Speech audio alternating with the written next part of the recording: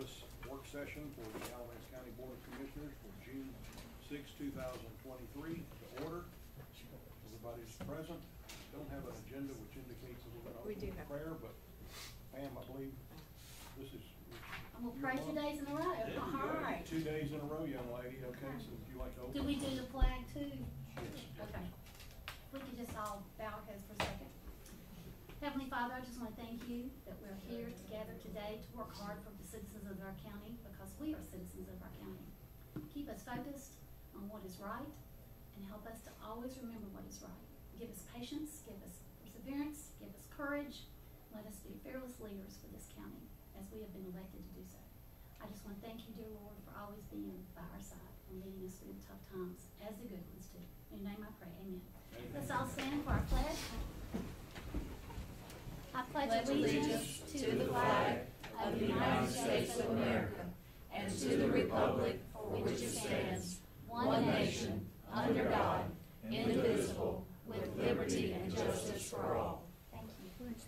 Thank you, Pam. Okay, we got the niceties out of the way, John. Do not go down Hardin Street. There are many- Excellent. Well, we don't have, this is not good.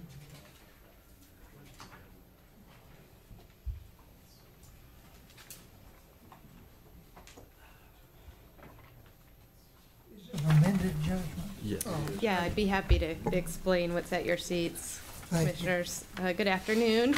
We have a very short agenda, but wanted to go in a particular order, given the number of guests that have been invited today. Uh, But you'll also find at your seats another uh, copy of the budget document, and under presented, it says updated with corrections, so we'll spend a little time after we hear from our volunteer fire departments orienting you on what those corrections were. They're very minor. Most of them were dealing with the table of contents. If you notice, those weren't always aligned with the right budget pages, so we, we have a corrected version that should help ease that. Um, so the first item on your agenda was the volunteer fire department um, proposed tax rates that came up at your last work session. You wanted to invite them here today to get a better understanding of what was being asked with the increase in their, in their fire tax. Now, let me start out with, I cut uh, Sheriff Johnson off last night and allowed the uh, chair of the school board to continue on, so I need to find, out, am I under arrest or? Not yet. Okay. Uh, Thank you for your understanding. You want to just call these as they're listed? However you'd like to, to conduct the meeting, sir. Like this with all the information from each fire department. Is that under here? Do you need a list of them, or? Oh, yeah, if you don't mind, Susan. Absolutely. So Commissioners, before you this afternoon, you'll also find a, a packet concerning our volunteer fire districts. On there, you have each district listed with their current tax rate, their revenue neutral rate, as well as a inflation neutral rate, I'll get that out, um, their proposed tax rate, their district valuation, as well as the value of one penny um, so that you can see the differences of what one penny represents for each of those districts. Also behind that is the packet that we received from the volunteer fire districts, which will give some explanations as to what their increases are. But they are here today, and you can call upon them however you see fit. Let's just go down the list. Uh, 54 East, Yes, sir. you want to come forward? Chairman, are you just looking for an explanation of the increase on their tax rate, or did you want to give them some additional Um, direction? Let me just announce, I'm sure you all want to go dramatically below the amount of you were receiving last year, right? We are. I don't think we have a post. Yeah. If you will, uh, Board, do you have questions? Uh, um, State your name and, and the fire district, and just give us a little background of where you were and where you want to be. All right, my name is Steve Couturier, Swepsonville slash 54 East Fire District. Uh, so you'll see me on there twice. Right. Uh, we did drop from a nine cent tax rate to a six cent tax rate. Um, and there's some conflicting numbers because our numbers were actually updated as of April fourteenth. We were initially working off of a set of numbers provided on February tenth by finance, and they were updated on April fourteenth. We held all of our official business meetings for approval of the proposed six cent on April third, and got all the signatures from our outside board, inside board, and such. Uh, looking at the six cent across the board for both departments, we're actually a quarter of a per, quarter of a percent um above revenue neutral. I blink, I believe on one case. Uh, let's see here. So revenue neutral for Swepsonville is 0.0575. We're proposing six cent. Revenue neutral for fifty-four East is 0.0681, and we're recommending six cent. So we're less on one and a quarter of a percent on the other. When you run the numbers, if we go revenue neutral per the April fourteenth set of numbers provided by finance, that budget combined would be one point five million dollars. At the six cent rate, we're at one point four three seven million dollars, so we're actually less across the board. Board, do you have any questions? What's, Mr. Turner? what's the, the need to be a, above revenue neutral for Swepsonville? The only justification for Swepsonville would be the competitiveness in our employment packaging. We're constantly evaluating where we sit across the county and with neighboring jurisdictions. And we're not at the top, we're not at the bottom, but we definitely have vacancies. So myself and the board are constantly looking at ways to entice people to come to our department. And that, that extra, if you want to call it that, is to increase employment package benefits and things like that. How many employees do you have?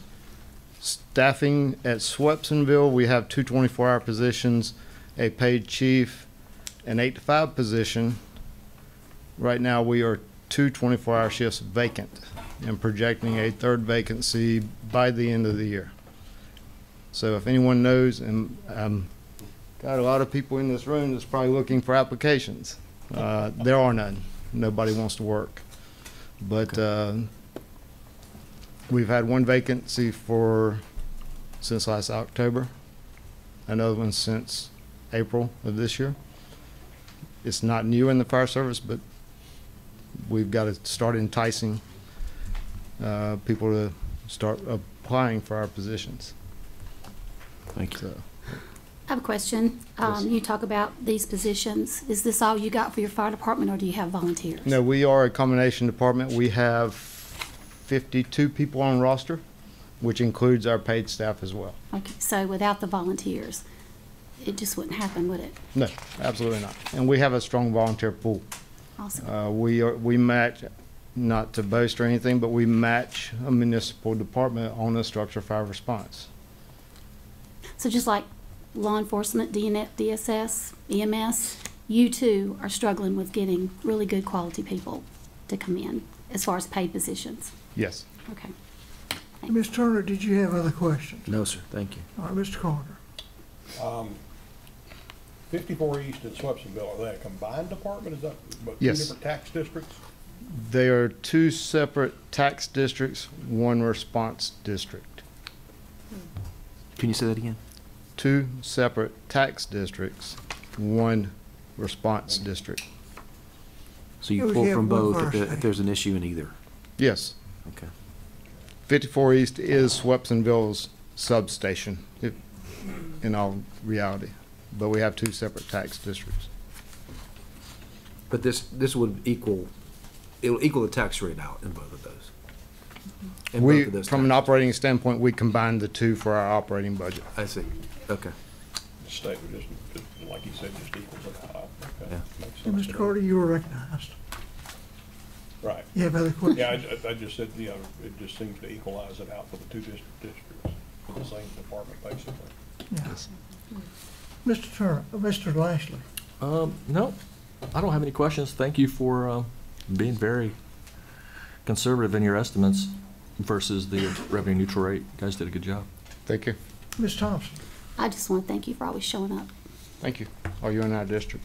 Whitney, Whitney, but you're Okay. all amazing. Oh, thank, you're welcome. Good. And I don't have any additional questions either.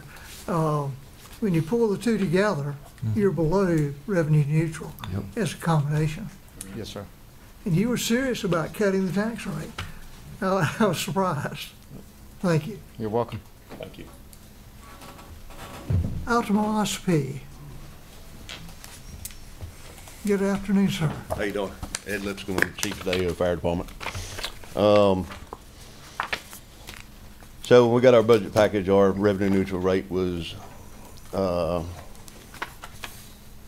point eight nine cents. Um, the inflation neutral, correct me if I'm wrong on my Susan, I might have an older paper, um, point nine three. Um, our board had met with the budget. Um, again, no opposition from the outside and voted for a ten cent tax rate. Um, some of this increase, we did pay off a truck, um, this year, six years early, out of reserve money, um, with a savings of about twenty-four thousand dollars to the taxpayers of our district. Um, we did also buy a new truck. Um, we are a little bit behind on truck replacement. Um, fire trucks are expensive, very expensive, uh, pushing eight hundred thousand dollars right now. Ladder trucks are in excess of two million. Um, the truck payment that we're looking at is around ninety, ninety-one thousand dollars ballpark. Um, you know, fire equipment, these guys will tell you, we have seen price increases quarterly at least. Um, we beat a eight percent increase on our fire truck, which was about eighty thousand dollars by a week. Um, we had a AFG regional grant, five departments in the county were a part of, that came through our department. Um, I priced, I, I just had a quote done for just our part of that grant. Twenty-five air packs, the price has increased eighty-two thousand dollars in twelve months. So, you know, what is inflation? Um, our department has spent right at forty thousand dollars this year in truck maintenance. Um, one valve on a fire truck, most of them have four or five. Parts was almost seven hundred bucks and it was eight hours of labor at hundred and fifteen dollars an hour. You know, we try to be good stewards of tax money. Um, I'm an open book. You know, I encourage the public to come in and ask questions. Um, I have a copy of QuickBooks at the station. And anybody in our district can come in there at any time and question any bill that's paid. Um, again, like all the, I'm speaking for myself, but, you know, gathering information, you know, over the last little bit, nobody wants to do this job anymore. I've had a position, um, July thirtieth will be a year that that has not been filled. We've had one applicant that wasn't qualified. Um, and we're, between two people, I've spent twenty thousand dollars just in time and a half this year. You know, these guys are getting burnt out. It's harder and harder to find people. It's harder and harder to stay competitive. You got, I mean, we're probably, we're probably close to the bottom as far as base salary on a starting position in the county. Our benefits package makes up for it. Um, the benefits package with the salary combined, you're probably talking right around fifty-nine thousand dollar value. You can't get people to work. Um, you know, you hear days where stations are going unmanned. You know, it costs money to staff these stations. It costs money to have proper equipment. Um, you know, we was talking out on the sidewalk, fire hose. One fifty-foot section of fire hoses went up a hundred bucks in the last year. Um, we got fourteen thousand some odd feet of fire hose. So, um, happy to answer any questions you got. Let's start on this end. so. Oh.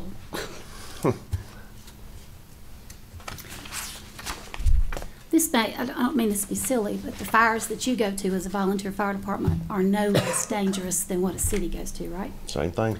The victims that you serve and rush into a burning building are no different than the ones in the city, right? Probably a little more dangerous because we've got less personnel. Right. So, um, the key to volunteer fire departments is they're spread out all over this county to cover all those areas of what the city can't do because the city's constantly Yep. going out themselves. Okay, thank you. Mr. Lashley. Uh, let's see, I only got one question. You mentioned it earlier, I just wanted to ask. What are you thinking about that? I got it right here. Mr. Stevens, can we, uh, yeah, we have all kinds of fractions of a penny. I assume we really need to be on a penny as opposed to fractions of a penny when we set a rate. No. No. I don't, I don't think so. No, we don't.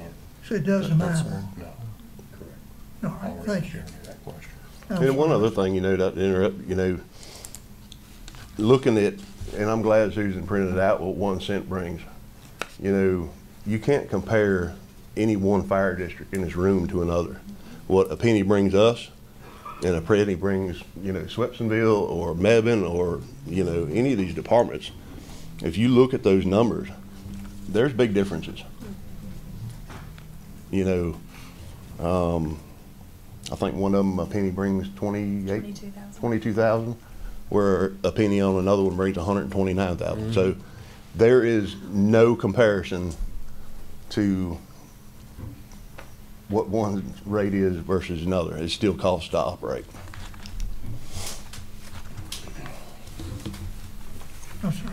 Oh, you're fine. You're fine. I just have one question. Uh, you mentioned earlier about uh, you had a public meeting on uh, March 20th. Mm. How many people showed up? Other than the board and the fire department, uh, none from the public. So how can you say that the public didn't have any, I mean, the reason why they didn't say. I mean, if they didn't show up and so you oppose take that anything. As, so you, you know. take that as like they, since they didn't show yeah. up, they didn't. I mean, we've had people in the past that have showed up and opposed. Okay. You know, and when I opened the book and, you know, showed that transparency, it stopped, you know, and. All right. I just had one question. Chairman, thank you. Mr. Turner. Nothing from me, Mr. Chairman. Thank you, Chief. Let's- I let's- don't have anything.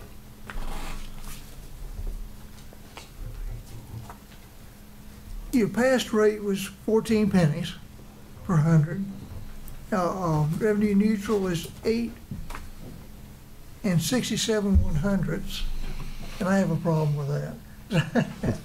Uh, How in the world, as a closing attorney, do you start with all those fractions? Uh, if you're, uh, doing a real estate transaction or pretty much anything else? I understand legally we can split pennies.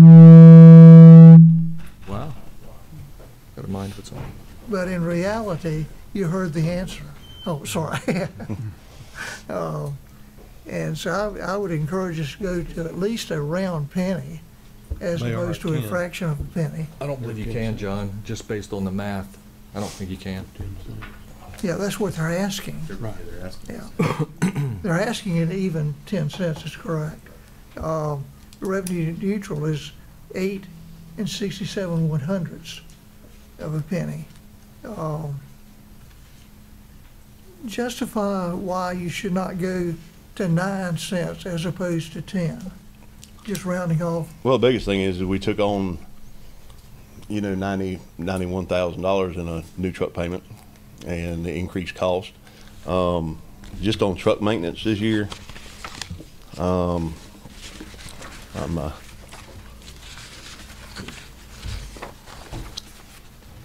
we're two hundred and sixteen percent over budget on truck maintenance. Um, that, you know, and that's out of something. That's gotta come out of our reserve money. We've spent hundred and seventy-one thousand dollars this year to pay off that truck we had a note on. Plus, we accelerated another payment last year. So you're, two hundred thousand dollars we took out of reserves to pay off that truck, because we knew we were getting, you know, another one. Um, What is your reserve currently? Your reserve fund? uh, That's it. As of twelve thirty-one, which I disagree with this, but, um, six hundred and sixty-six thousand. All right, Thank you. And, you know, I'm sure that Becky over here at Cobb office will tell you, we do, we do things that most people don't. Um, we have stuff planned out, turnout gear, air packs, radio replacement. Every year, we're putting back money and evaluating cost to replace those things over that, that period of time. You know, we don't have a, a general fund or anything that county's got kind of sit back from, you know, what we put back is what we put back and it's all earmarked and it's all in the budget package with explanations on what each account is. I don't have any other questions. Board, any other Can I just ask one thing? You mentioned that you had gotten a grant. Mm -hmm. How much was that grant? Eight hundred and four thousand and some change? And did you keep all that money for yourself?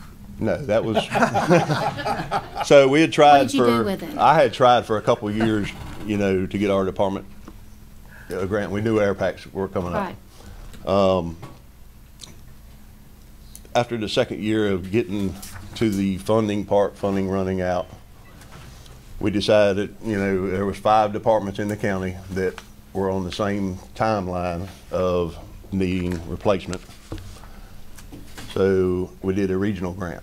It all came through AO, but it- it benefited us, uh, Faucette, North Central, Snow Camp. That all of them? Yeah. Pleasant Grove. Um, we were awarded that. It did take us a little time to get all the stuff in, probably six or eight months due to COVID and back orders and whatever, but, um, that, five departments total benefited in the county for that. And that was a, probably a lifesaver to a higher increase in their budget. So if you hadn't got that grant, all five of your, these guys, girls, girl power, all five of you, where would you have gotten that money that you needed? We'd have had to take out, a lot- I mean, literally, we had some money put back, Okay. but it was nowhere near enough to do that. I mean, you're talking hundred and, I think it was hundred and seventy-seven thousand dollars was, yeah, for twenty-five air packs. That was our share of it, well, our portion of that value-wise. Um, what we paid out of pocket for that was sixteen thousand dollars. Okay. So it was a ninety, they funded ninety percent, um, we funded, funded ten percent. And each department was different in how many they got, but, um, there again, I'm speaking for myself, but most departments were in that crunch that I understand, that they were gonna have to take out loans or increase tax rates, Right. you know? And when you take out loans at three and four percent interest, it costs, Seems like the story of first responders yeah. across the board. Thank you. Thanks, sir. E.M. Holt.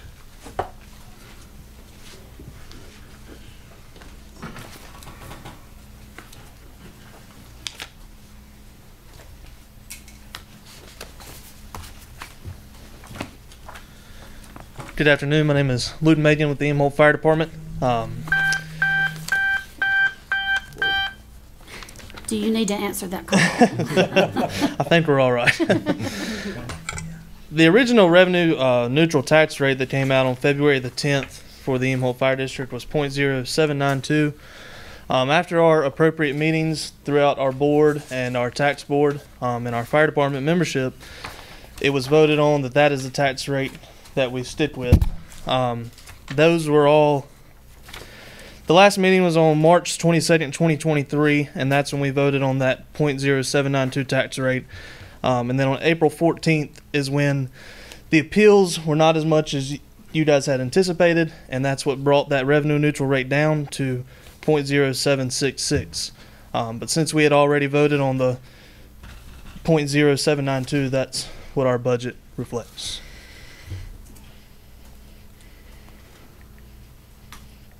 But you were okay at th- that point in time with revenue neutral? We were. Um, that gave us just enough to accommodate just like you've heard everybody else here say today, staffing. Um, our part-time pool was very low, and we had to build that up. So fortunately, we were able to raise our part-time pay, um, and that helped us accommodate that goal. Um, Well, I know personally, you guys have fish fries, you have, oh, I, when I used to live out there, I cooked a lot of fish and a lot of chickens. those days have come to an end, unfortunately for us. Um, we we don't do any um, fish fries or anything like that um, anymore. Just we didn't get the result out of it that we were looking to get. So. Any board member have a question? Do you need the additional um, revenue above the current revenue neutral? Yes, we do. That's what we were able to accommodate that that part-time pay pool with, um, as well as we're looking at building a new station to accommodate because with our volunteers, we're not as fortunate. Our volunteer pool has dwindled very much um, after COVID. Um, we just don't have very much response from volunteers. So, and to accommodate that, we've had to go to more staffing. Um, and with that, our station has become a lot smaller. We're running out of room to store stuff. Um, so that's something we're looking into in the future. Uh, we're, we're looking at land now, um, and that's that's also helped with, with starting that process. We actually moved the station. No, um, we're probably going to look at keeping the station that we have now um, and moving our headquarters towards closer to Guilford County line um, on 62 somewhere. We're still in the process of looking at land in that area. How much land do you have? Do you have enough to add on where you are currently? We do not. We only we have just under an acre where we're at now. Yeah. There's not much room to grow. Uh, we use that, used to use that for the Board of Elections. Uh, may still use it. The Civitan building behind us, they they use that building. Yeah. Have, have y'all seen any, um, interest out of the fire academy that's through ABSS? So I actually, um, I I started. That's where I got my start. Was ABSS Fire Academy. I may not look it, but I'm only 21 years old. um, so I graduated in 2019, and I was able to get my levels through that. Um, and I'm a I'm a product of that. So I, I think it's a very good thing. Unfortunately, they haven't been able to find a teacher um, the last year. Didn't he move to Guilford He did. He did. So that program is is no more right now, but I think they do want to start it back up. The younger you start, the better it is. Law enforcement, everything, because the world has such a view of these positions that it can really take away from it, which is ridiculous. Yes, ma'am. So, thank you. Yes, That's pretty awesome. Any other questions? No, thank you. We thank you. Thank, you. Thank you, Chief. Okay, East Alamance.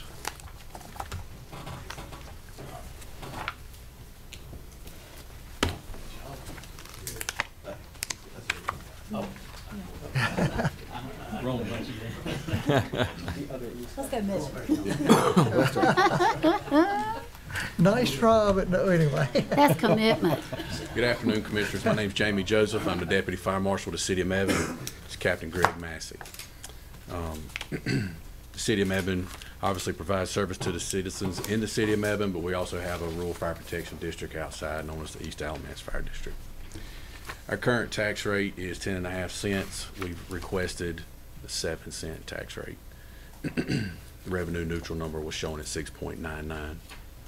So like Mr. Paisley said, we like the round number, so it's basically the same number. So I've been right one time, that, no, That's right. Last night we had a regular meeting. I, I'm not sure about last night. Um, as you all know, we're slightly over the revenue neutral, not by much, but, uh, the city of Mebane, and I'm sure everybody in here knows, has seen tremendous amounts of growth. And, um, that does extend outside of our city limits into the rural fire protection district as well.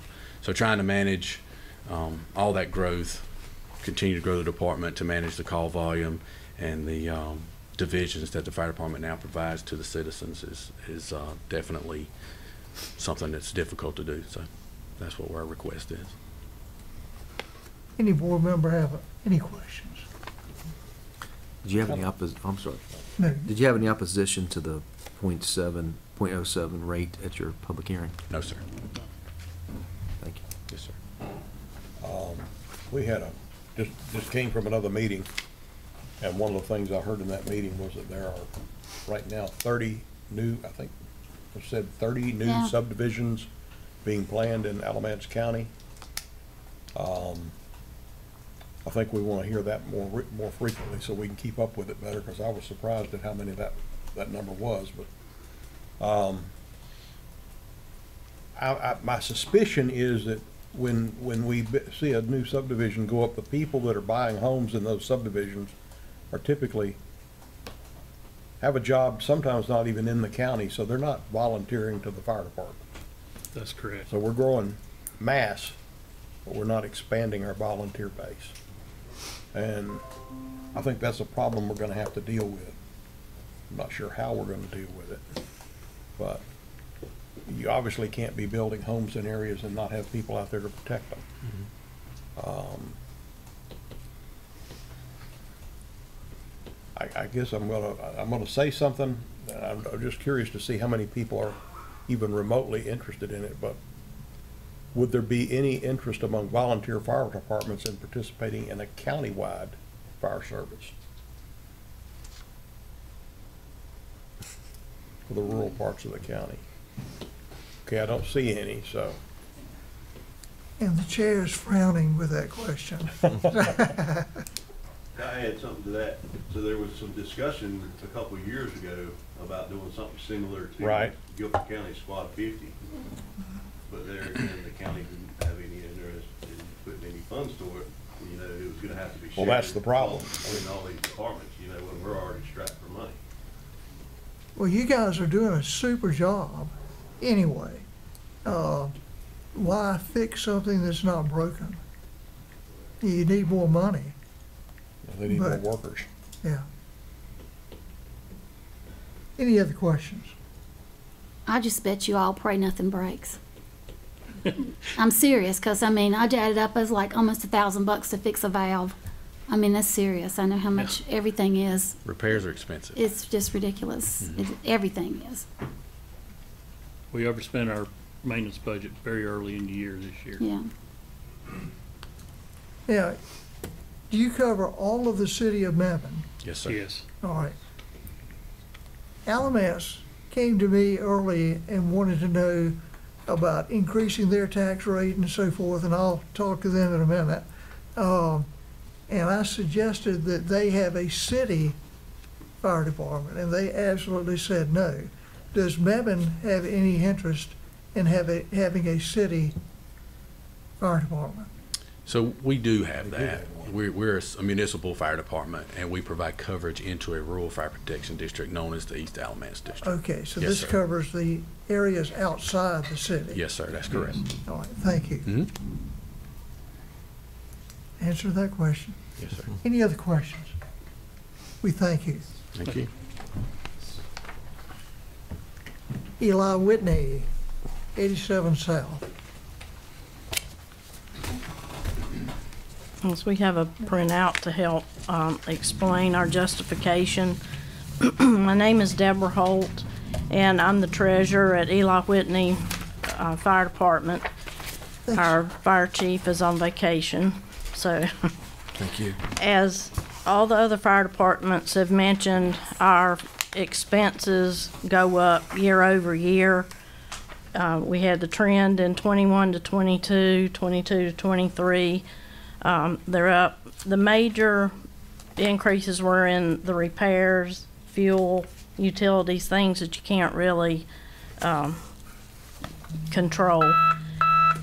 Like other fire departments, we've had a struggle with full-time firemen and with getting volunteers and with part-time firemen. And a lot of it's the competitive pay. We had to add a fourth full-time person. We were operating with three full-time people. We don't, do not have a paid chief at this point.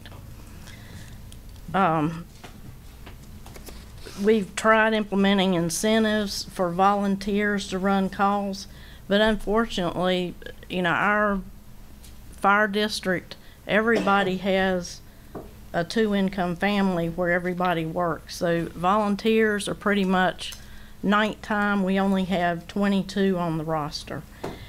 And our call volumes have gone up, plus the calls are seventy percent EMT or medical calls mm-hmm. versus just fire calls. Right. So it takes a much higher certification, you know, whether you've got a full-time person or a volunteer or part-time, you need that EMT certification. Um, somebody mentioned the housing developments. We do have three additional in our district. They're listed on the paper. Um, we have an aging fleet of vehicles. We did purchase one that was delivered in late June of last year. And I will apologize, on, when we submitted the budget, it looked like we were asking for a three hundred and fifty-eight percent increase in note payments. If I can just explain that better. That, the eighty thousand that we were, we, used to pay off the Eli Whitney, um, building, that next year, we used that money to help buy air packs. And we were lucky enough to get ninety-one thousand in Amy Gailey funds. Otherwise, we would not have been able to replace the air packs. So that eighty thousand will come back in to pay the note on the new fire truck. And as you can see, we've, of all the vehicles that we have, seven of the ten vehicles are more than twenty years old. Um, so we've tried very hard to phase in. We have multi-year planning so that, you know, we see when we can pay one thing off so we can start to buy another. Um, also, you know, we kept an eight cent fire tax rate for twenty-three years without asking for an increase. And then finally, in twenty twenty, we did ask for an increase. Um, and I know we are asking for more than our, um, revenue neutral, which was six point nine cents, I believe. Um, we're strapped The, the for bulk, people. the bulk of our budget increase has to do with salaries. Trying, salaries, trying to ensure that we have full-time help, hired help, um, because of our waning volunteers. Um, you know, all of the rural count, uh, rural fire departments were volunteer. Uh, that's how they were started. And for the most part, you know, there were a lot of farmers. And, um, people were present in the community where the problems were during the day. Yeah. And that was the backbone of the fire department. And, you know, it's, it's a, it's a wonderful dream, but it's not real anymore. And, um, so we, we struggle with, uh, from the sounds, what we've heard so far, we're struggling with the same thing that everybody else is as far as, uh, qualified help. And, um, the, the greatest increase in our budget, what had to do with, uh, hiring and, and being competitive with our salaries, mm-hmm. so, and, and our volunteer money as mm-hmm. well. Any questions? Was there any opposition to the proposed tax rate at your public hearing? No, sir. Thank you. When I was little, if there was a fire call, there was this loud siren. And everybody, even people on the moon, could hear it. It was amazing. And the whole world stopped, and you would just watch everybody get in their cars and go. It was just the community. I mean, it's that's just what we are as community. Um, it's pretty awesome. You certainly saved my dad's life a lot of times. Thank you. Thank you. Any other questions? I also have to say, Pam, I remember that too. I grew up in rural Georgia. and fire big deal. When, when, when there was a fire out, everybody rolled out. Yeah. Even if you were a teenager, you rolled out to help if you could, so. I helped put out fires, grew up in McLeansville on a tobacco farm. So, I understand. I have to say, the work ethic of a volunteer fire department is exemplary for us all to follow. Because you go because you want to, not because you're made to. Mm-hmm. We thank you. Thank All right, you. thank you. Elon,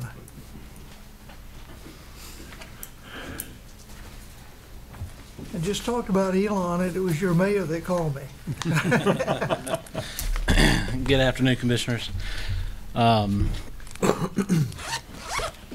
Like the Mebane Fire Department, we are a municipal fire department that covers district out into the county. Our uh, revenue neutral rate was .0793. Uh, The numbers that the county gave us for inflation neutral was .0846. Our approved rate after our public hearing and our uh, town council voted was .0865. The reason for the increase was we saw quite a bit of increase in our diesel cost, gas, power, things like that. Plus, we've been on a plan to hire more personnel, but we've been doing it incrementally. So starting in 2022, we hired two, one in July, one in January, and the next one was up for this budget. We didn't ask for an increase from our county side in 2022, but we are asking for a little bit to cover that third person um, this go around. Mr. Turner, Was there opposition to your proposed tax rate at your public hearing? There was not. Mr. Carter, Mr. Lashley, No, I don't have any questions. Ms. Thompson. You're Elon. Do you answer calls in all the dorms? Yes. Is that part, does Elon University help you with budget? Um, they give us a small amount. They're currently giving us about eighty-three thousand dollars a year. Does that, does that kind of equal out? No. Sorry, no, it does not. Bless their hearts, they're, they probably got it. I'm just curious how you cover all your surrounding areas plus the university. And they're not a major part of that, because college students will leave a hot plate on occasionally. I'm just curious. I would say frequently more than occasionally. Uh, it, it, it is a challenge um, at times for the small town of Elon to have to cover buildings like that. But And question, are there, and when you go to, say, a dorm, are you, and there's um, a crisis, a medical crisis, is your EMT out of your area going to that also? yes, Okay, so that's, okay. Young people can make some bad choices. We all do and have. Okay, I'm just curious, I, I'm, I'm just curious at that amount from the university. Okay, thank you. I will add, uh, Rich Roedner, I'm the town manager in Elon. Uh, Of our new valuation, Mm-hmm. about forty-two percent of our value is not taxable in Elon, between the university and Twin Lakes and a couple others. Um, So we are heavily dependent on, you know, the, the local taxpayer to, to fund everything. Those larger institutional, commercial entities uh, do provide a little bit, but not nearly what they would under property taxes. Well, and, and Yeah. they're buying up as much land as they can to develop the city. I mean, it's a, u- it's a university, I get that, and it's absolutely beautiful. Um, we got a school out of that, because mm-hmm. Elon, I know they wanted Elon Elementary off compared to all the beautiful, stunning architecture buildings they got. I mean, everybody benefited from that. I'm ju, I'm really curious and amazed that they're not a lot more financially supportive when you've got all these students that may need your care as well. And Elon is giving you less than one penny's value with their donation. Correct. Mr. Lashley. Uh, yeah, I just found one thing I would just want to ask you about quickly, because it seems like quite a bit of money here. Uh, I'm looking at your financial information. Uh, the cash and investment balance as of 12/31/2022. Am I seeing this correctly? $21 million? I'm not certain what you're looking at. That could be the towns as opposed to the district, the fire department. Well, I'm just curious why it's in here, if it's 'Cause it's a- separate. It's a town department. Right, but you're a different department than, say, the police station or the parks, so I'm just curious why these numbers are in here. That's a lot of money. Twenty-one million, it has to be for the town. Yeah, that- that's, But it doesn't tell me what your financial statement is. What, what's your financials, finan- how much money do you have in the, as a fire department? they have That's, a that's a legal question. So, so are you asking how much revenue we generate from No. the county side? I'm, I'm looking at strictly your, everyone else today gave me a cash and investment balance of it's twelve thirty-one twenty-two. And uh, the reason I'm even making this statement here is most of those numbers were between 350 and 600,000. I just looked at this one, it's 21 million, so I'm trying to figure out why. I, I will say, the fire department doesn't have any cash. You don't have any cash on hand? It always comes, comes through your city? Yes. Okay. E- Even the donations that are received come to the town. Okay. They don't come to the department. All right, so, okay, I think I understand. And I misspoke. Uh, I was looking at Eli Whitney Okay. for a penny. So Elon does a little better than I projected. Quick question, Mr. Chairman. So Yes, sir. I, I want to make sure I understand. Your department covers all of the town of Elon, all of Elon University, and then a portion outside of, of the town of Elon city limits. That's correct. And there's no municipal fire department in the town of Elon.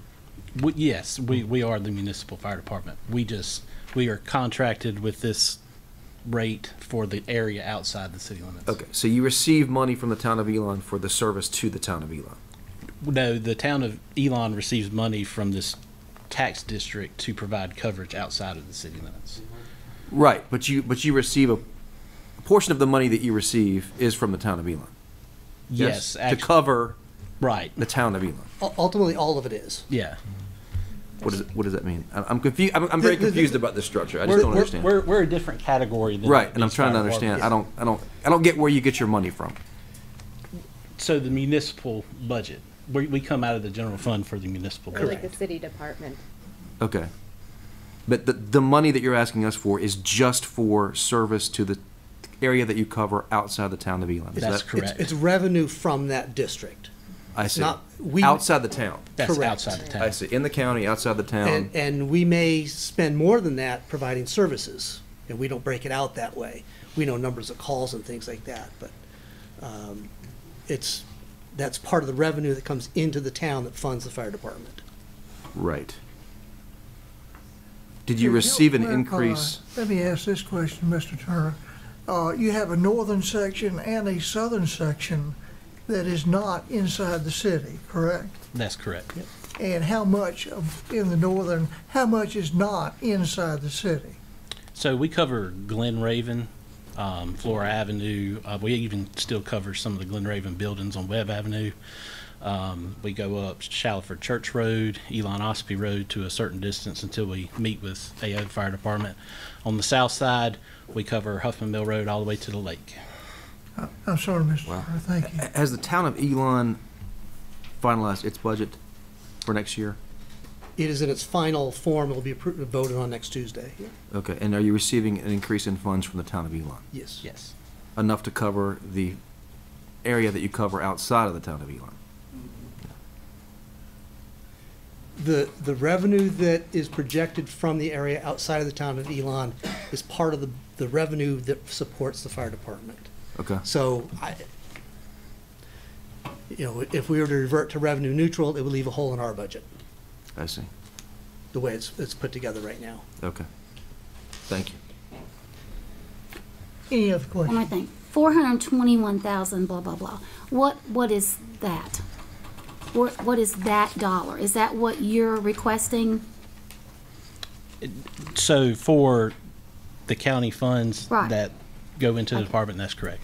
And eighty of that, not in that, is only what the university covers. So our, our total budget is not the number that you see. The number that you see is what the revenue that we're generating from our county district. Not, Actually, can I, can I jump Okay. in here real quick? uh, help me, cause this is really starting to tick me off. So what you're, the number that you're referring to, the four hundred twenty-one million five fourteen. Right, yeah. That is the district's valuation. That Gotcha. is taxable. Gotcha. So that is not showing what revenue would be generated, just showing the breakdown of what their district values are. Then the value of the penny is basically take that penny, multiply it by their tax rate, and that's gonna give you their generated revenue, which is in your commissioner's book. Okay. Just off the top of your head, can you tell me what that amount is for the county outside of this university that you're getting? The university is in the town, but I'm caring about, Pretend they're not there. And you are going all over this place doing uh, about what three you're hundred doing. sixty-eight thousand is what I'm carrying in our budget as revenue from the fire district, less some of the expenses that we pay back to the county. Three Would you- sixteen? Interest and fees, it's a couple thousand. Would you say you have more calls outside the university or inside the university? So we, we continually go back and forth with numbers depending on the time of year. I But in general, the, t- uh, the Elon University is our biggest customer and we run more towns, more calls to the university than we do the town in general, or the outside district. Do you meet with the university about this issue? Regularly.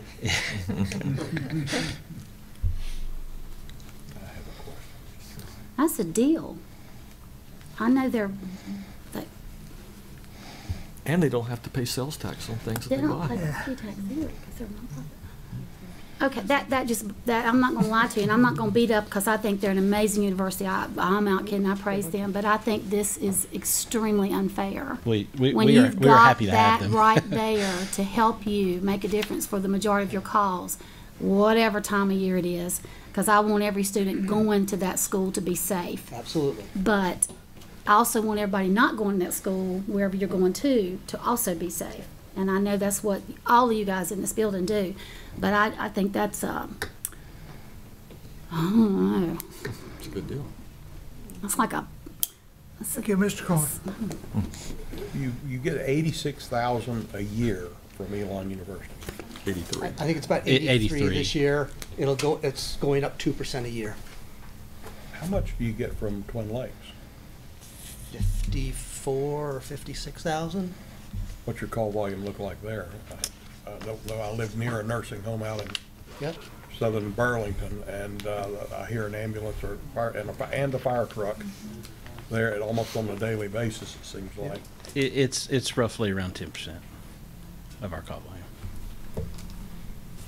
and your stuff breaks too, doesn't it? Absolutely. We are, we are well over our maintenance budget as well. So you're just gonna park it, and then when your budget starts back up, you'll fix something else? No. Okay, thank you. Any other questions? We thank you. Thank you very much. Kay Faucette. Wow.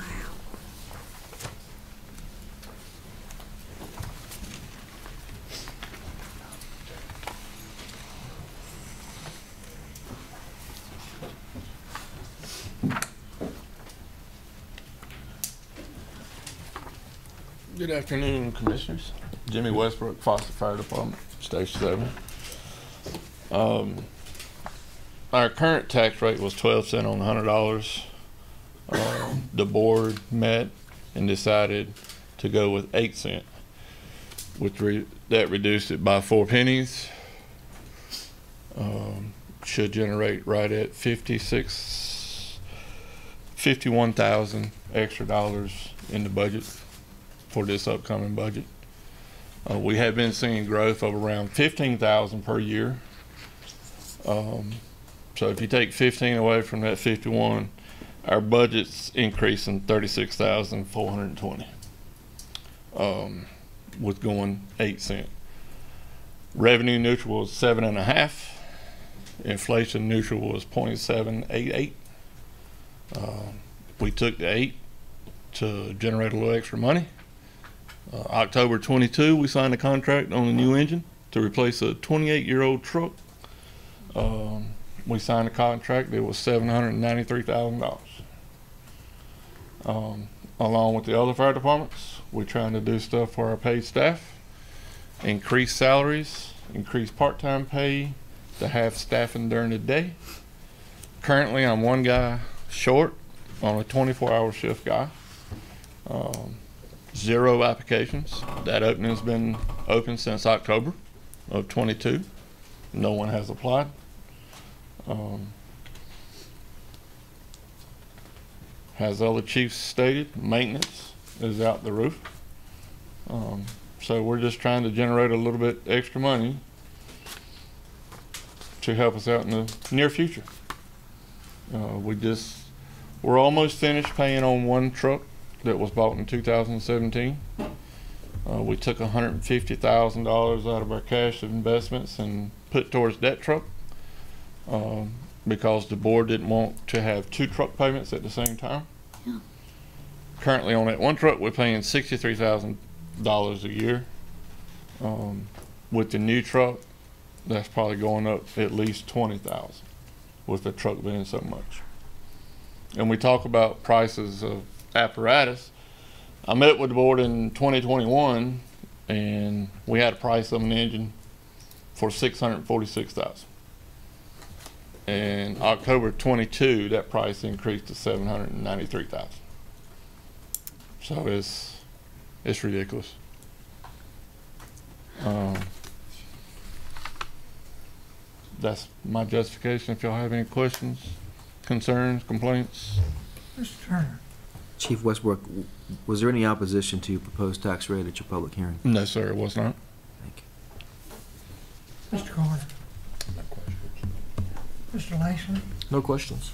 Ms. Thompson. You were part of that grant, right? Yes, ma'am. I So that was. really helped you guys. Extremely. Yeah. Yep. And, and then like your engine that you just talked about, that you waited, what, whatever. and Yeah, it it's went up- 28 years old right now. When we get the new engine, it'll be 30. Okay. you don't want to rush things. Um, it's it's kind of like my roast. Right. It's the same cow, but for some reason he gets more expensive every week. Gotcha. Um, thank goodness for that grant. That's life saving for you guys Yeah. because you save everybody else's It was life. life saving for all five fire departments, I think. I just really appreciate the fact you went in together. I wish there was some way that we could apply for all kinds of grants to really team up all of you guys to really benefit you, not just certain times of the year, because there is no certain time of the year that you need something. It is constant. Yeah, if that grant hadn't come available, just like the rest of them, we would have borrowed the money. Yeah. Some type of financing. And that'd have been another payment that we would have had to make. You know, it's something when nonprofits have to occur grants, I mean, debt, because you don't sell widgets or oranges. You don't sell anything. And that's, you think, how in the world are we going to do this? It's like owning the mafia or something. That's correct. Okay. Thank you. You're welcome. Anything else? I have no, anybody have any further, que- we thank you. Thank y'all. Thank you. Okay, Haw River.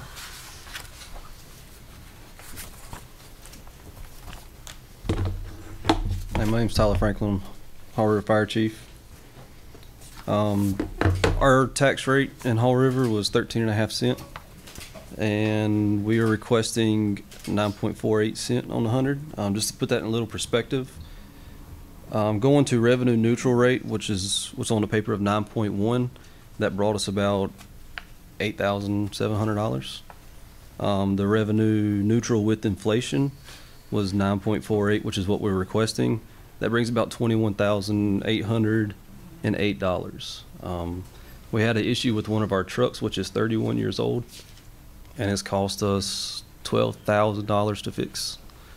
Um, it's currently sitting in the shop now, and it's been out of service for about three months. Um, right before that, we had another engine go down, so it was actually down to one engine for the town limits of Haw River. And just like Mebane, just like Elon, we are a municipal fire department, so we are split between county and town. Um, and part of my budget does come from the town, part of it does come from the county, just the same. So our justification for the request is pretty much the inflation of working on trucks. Um, just like everybody else has had issues with truck maintenance, finding people to work on them, the increase in that. Um, we would like to increase our part-time staff as well um, to cover us seven days a week. Um, we currently have three 24-hour staff people that work a three-four schedule, which is most common around here, and um, we have the fire chief, which is me. So during the day, we're about three people plus the volunteers that will show up, and we're down to about 16 volunteers. I will take questions at this time if y'all have any. Ms. Thompson. Um, I think I was at your place for the safe, Project Safe Neighborhood. It was, that was a room full of unbelievable people. I thought, golly, I should confess to something. but um, you're like everybody else with your old fire trucks and every, I mean, Yes, ma'am. what happens if you don't have a truck? Who covers Uh, you? You rent one, or like we've No, done no, in no. the I past, mean, we who ha- um, what if you go out, you get an alarm, and it won't crank? Who covers you? we have mutual aid departments for that. Okay. Um, that's not what they're for. They're for staffing and helping us with uh, getting extra people to the scene, extra trucks that Yeah. the town obviously can't get.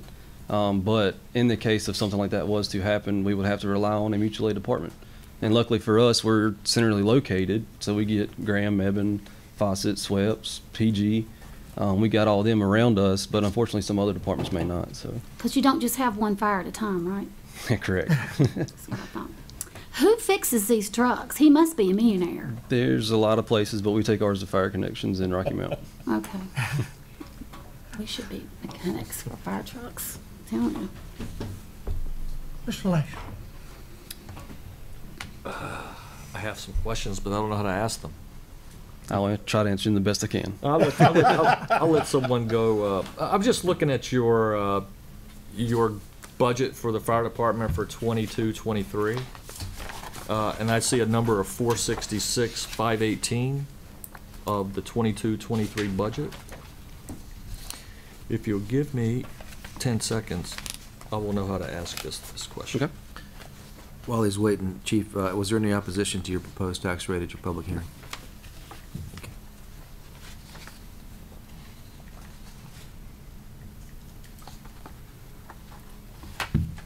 That it, Ms., uh, Commissioner Turner? You good? Okay. Um, just looking at your, um, your 22, 23 budget, that Yes. I'm, I'm sure that, that's how, uh, I'm seeing a 466, 518 number. Yes, sir. And I'm seeing your manager's recommendation budget, uh, 529, 375. Okay. I'm just, uh, I, I see that the council hasn't approved this yet. Can you tell me? So, if- um, yes, manager's recommendation is five twenty-nine, so they have a, we were running behind on our budget process. Um, they're set for the nineteenth to actually accept this budget. June 19th. They're gonna have their public hearing then So for does the budget. Does the uh, Haw River manager, uh, she's pretty much okay with this 529, 375 number for you? Um, Sean Tenser and Leslie Gonzalez has worked to get to that number, yes. Okay. All right, There's so I can take the 529 number as a good firm number, like that's the number that you're expecting Yes, from sir. your manager's request. Okay, uh, that, that leads me to my question. Uh, When I look at these numbers and how Mm-hmm. they're stacked, um, this is way out of line versus an inflation rate. And I'm giving you an inflation rate of 6%, which is much lower than that. It's basically 5.1. And what I'm looking at is I'm looking at, that's like a 20% increase year over year, which is out of, w- out of line out of, just out of line about how, how other things are going up. I know your salaries are going up. Yes. At a ten percent clip, so I can sort of see where you would maybe get that twenty percent number, but, uh, even granting you the ten percent increase in salaries, uh, Right. I, I just think your, your numbers just, uh, are, are, are higher than, than your peers, from other, uh, Right, so. fire departments who've come in. try to answer this the best I can. We do have that county money or the town money that comes into play. Um, so, to, for example, um, the projected value at our revenue neutral rate plus inflation from the county is three hundred thirty-three thousand three hundred fifty-three. Um, the rest of that from the five twenty-nine three seventy-five That's is the covered town. by the town. There you go. We have a fit it. twenty point two point eight district in the town in the town. So. I'm good. Thank you. Yep. You good? Any other questions? Mr. Turner, No, sir. Mr. Carter, I have none. All right, Thank thank you. Okay, North Central Alamance.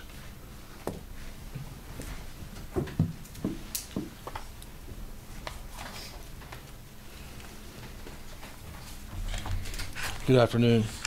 My name is Joey Green. I'm the fire chief with North Central Alamance Fire Department.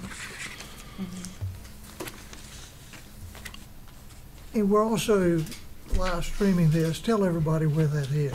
North Central Alamance is in uh, God's country, as I like to say. It's uh, northern, it's northern central part of Alamance County, uh, right in between the the fingers of the two creeks that form Lake Cammack. And if you look at Lake Cammack, it looks like an alligator. Our fire department sits right in the in the back of its mouth. Yeah.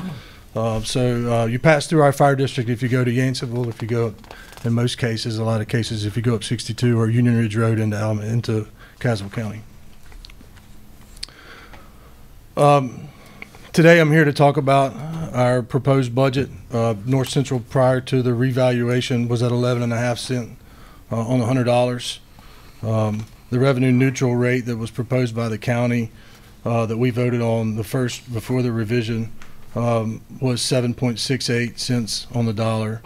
uh, our board of directors and our fire department has met, and uh, our board and along with our tax, uh, we went, went through all the procedures with the hearing, and nine cents on the hundred dollars, we feel like uh, helps us out the most.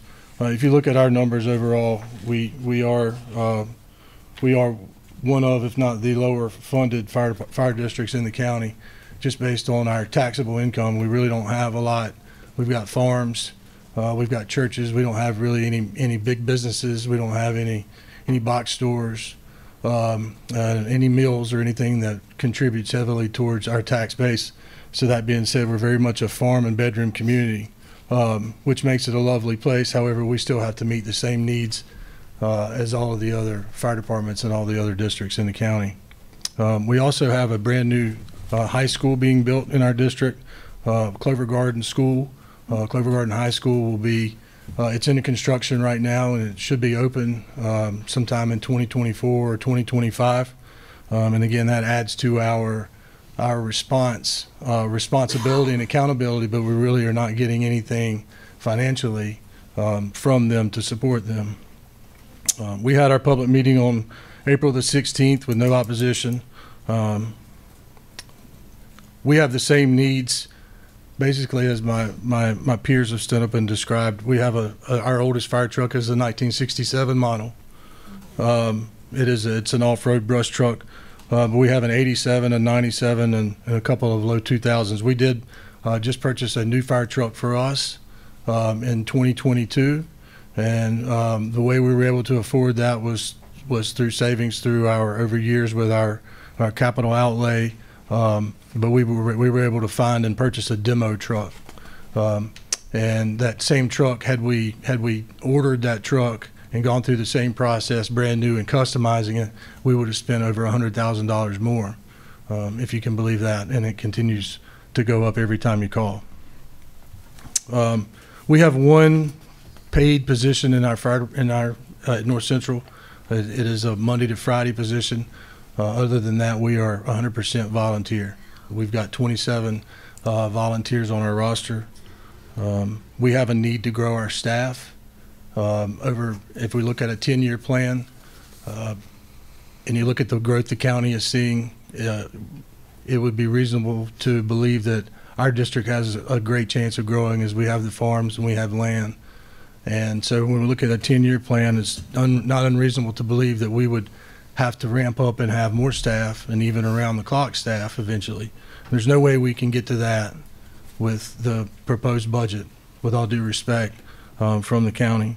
Um, just further justifying our belief that uh, nine cents will, will help us. It won't even get us to where where we ultimately need to be, but would certainly get us in a better direction.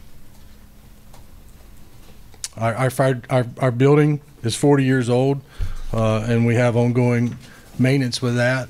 Uh, I will say we are we are a very talented group, as as all my brothers and sisters are. And to answer your question, Ms. Thompson, we learn how to work on a lot of the things ourselves. Um, and when it comes to the big the big ticket items, we do have to hire that out. But we have learned how to work on a lot of things. And, and I'll be honest, a lot of the equipment that we have and use um, is is secondhand and has been donated and given to us from other districts in here and other fire other fire departments.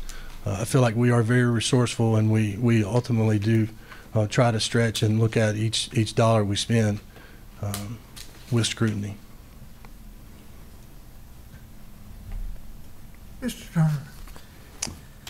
One other note, we were part of the grants as well, and I'll be honest, um, the grants are life-saving to us, um, as much as anyone. We, we have, we've been benefited from the Amy Gailey, uh, and from, from some, some FEMA grants. The grant we went in with, with Station Two and others, the air packs. Uh, we've been able to replace radios and air packs, otherwise we would not have had the funds to do. And that, that, that, feel like that was heaven sent, that led us to be able to, to purchase a fire truck that was that was replacing one over 30 years old. So, Chief, you got a lot of needs that you you listed here in your in your in your materials. Um, what's the most important need for you this year? Like, wh where would you put this money this year? this year we're we're with, with the new truck we're repaired maintenance. We've got our turnout gear covered and we've got our radios. So this year we're focusing on repairing the building. We've got some some building repairs to be made to both the roof and the sides.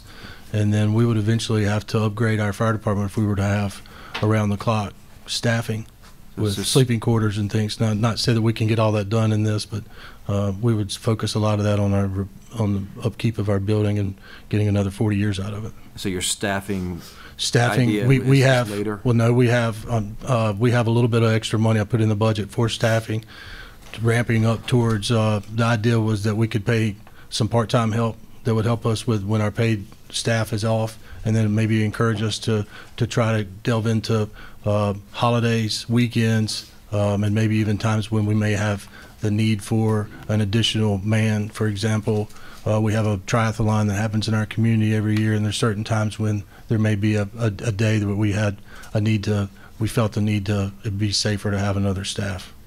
Okay, thank you. Mr. Carter. Almost everything in your district is residential, is that correct? Residential and farms, that's correct. Churches. I have no questions. Ms. Thompson? You talked about Lake Cammack, Yes, that's ma'am. Camp Greenleaves. Yes. I did, I went up to their program last year, amazing, special needs kids. Uh, is that you guys, if there's a call? So uh, I'm glad you asked. Camp uh, Greenleaves and actually Lake Cammack belong to the city of Burlington. However, we are first response. We're not. We don't get any any bit financial benefit from that, but we do. We put the sweat equity in as far as responding and and owning responsibility um, for for any scene or any call there.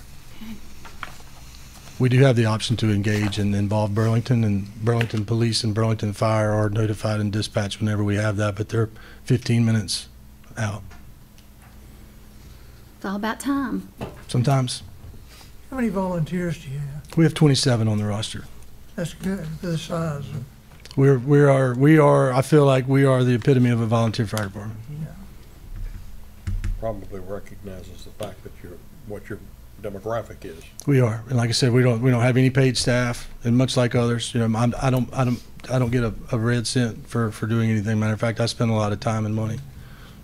You get stars in your credit, trust me. I'm not I'm not doing it for that, but thank you. Me either. And then one other question about the uh, the community. That's a concern I have too. So um, I think we grow our own is the way, and I don't know how a better way to say that, but I'll say that I'm a multi generation uh, fireman, and my and I have two kids that are junior firefighters, and and a lot of our fire department is made up of multi generation, and without that, I don't know where we would be. Yeah. And if you took that part out of it, it would really be scary. So I'm all for anything that we can do to to boast and to um, to to encourage folks who volunteer. Even people you don't have to grow up here, right? But Just a, cu- a uh, a question, do you see that the volunteer fire departments will gain any benefit from the new fire training center that's gonna be a part of ACC's, uh, uh, Public Safety Training Center?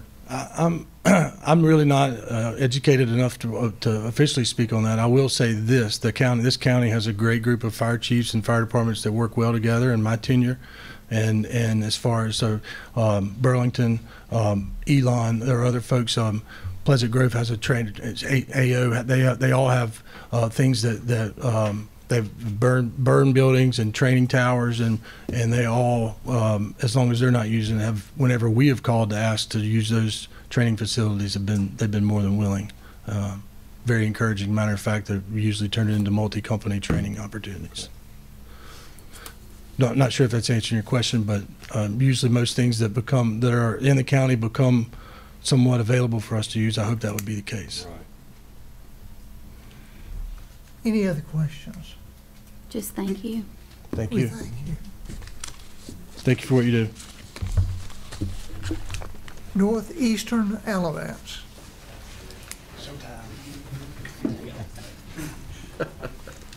Do we penalize you for jumping up? No.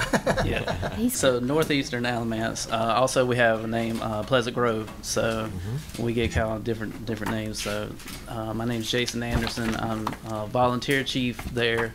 Um, being a volunteer chief with this department, I rely heavily with budget type things on former chief and board treasurer Jimmy Roney. So he wasn't able to he- be here today. Um, he was doing some stuff with his grandson. So with our uh, our former um, tax rate was 12 cents. Our revenue neutral was 0.0797, and our requested is 0.083. And we had our public hearing on 4-3 and went through the board approval at the next board meeting and had that all approved. Um, what we plan to do with those those funds for this year, like uh, some of you asked, was um, some building. Same same story as what everybody else is doing. We're uh, dealing with staffing issues. We don't have 24 hours at Pleasant Grove. We have uh, we cover a time frame from 6 a.m. to 6 p.m. Uh, with part-time staff from other stations. When they get off with their 24-hour shift, they come to our station and work uh, through through our shifts. Like I said, we cover that from six to six, and what we're planning to do is extend those hours to the weekend. Now we only do been doing it Monday through Friday. We plan now to do it uh, seven days, and that's what we want to do. Also, uh, we have, like I said, an old building.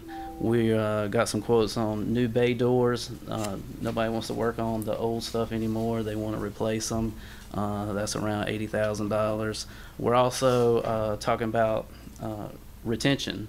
So uh, some of the other chiefs were talking about explorers and junior firefighters. Uh, what we're trying to do is is make some makeshift accommodations with furniture and uh, what we call house tones, uh, some notifications when we have a call, because we have some younger guys and explorers that are wanting to spend the night at, at the station. And where we are, we just don't have those accommodations. So we want to use some money to uh, make it make it you know uh, appealing to them, so they'll want to be there and, and and run calls. So that's that's some of the things that we're planning on doing with the money. Also, we uh, signed a contract for a new truck, just like the same stories that some of the other departments. Um, trucks have went up. We're replacing a 1989 truck, and um, hopefully that truck started out is around 690,000 and is went uh, with equipment and everything is pushed up to around 800,000. So I'll introduce, I'll entertain any questions that anybody has. Is there like a fire truck dealership? Like, where is, where is this deal, where are you getting it from? It, it's it's like Ford and Chevrolet, so it's, Yeah. whatever uh, whatever you can get the best deal on that will the the people that will build the truck like you want it and the needs for your department. Okay. Is there any, is that in North Carolina? Is there one in North Carolina? I don't think there is one. in Anchor-Richey. Anchor Ritchie, they build smaller trucks, but they do. Uh, their their specialty is smaller trucks, but they have subcontracted with to do some of the larger trucks. Yep. Okay, thanks. Chief, was there any opposition to your proposed tax rate at your public hearing? No, sir. Thank you. Any other questions? We thank you. Thank you. Okay, Snow Camp.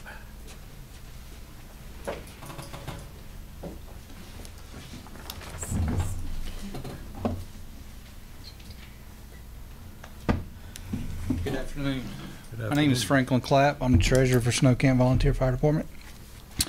Um, we have um, a current rate of 12 and a half cents.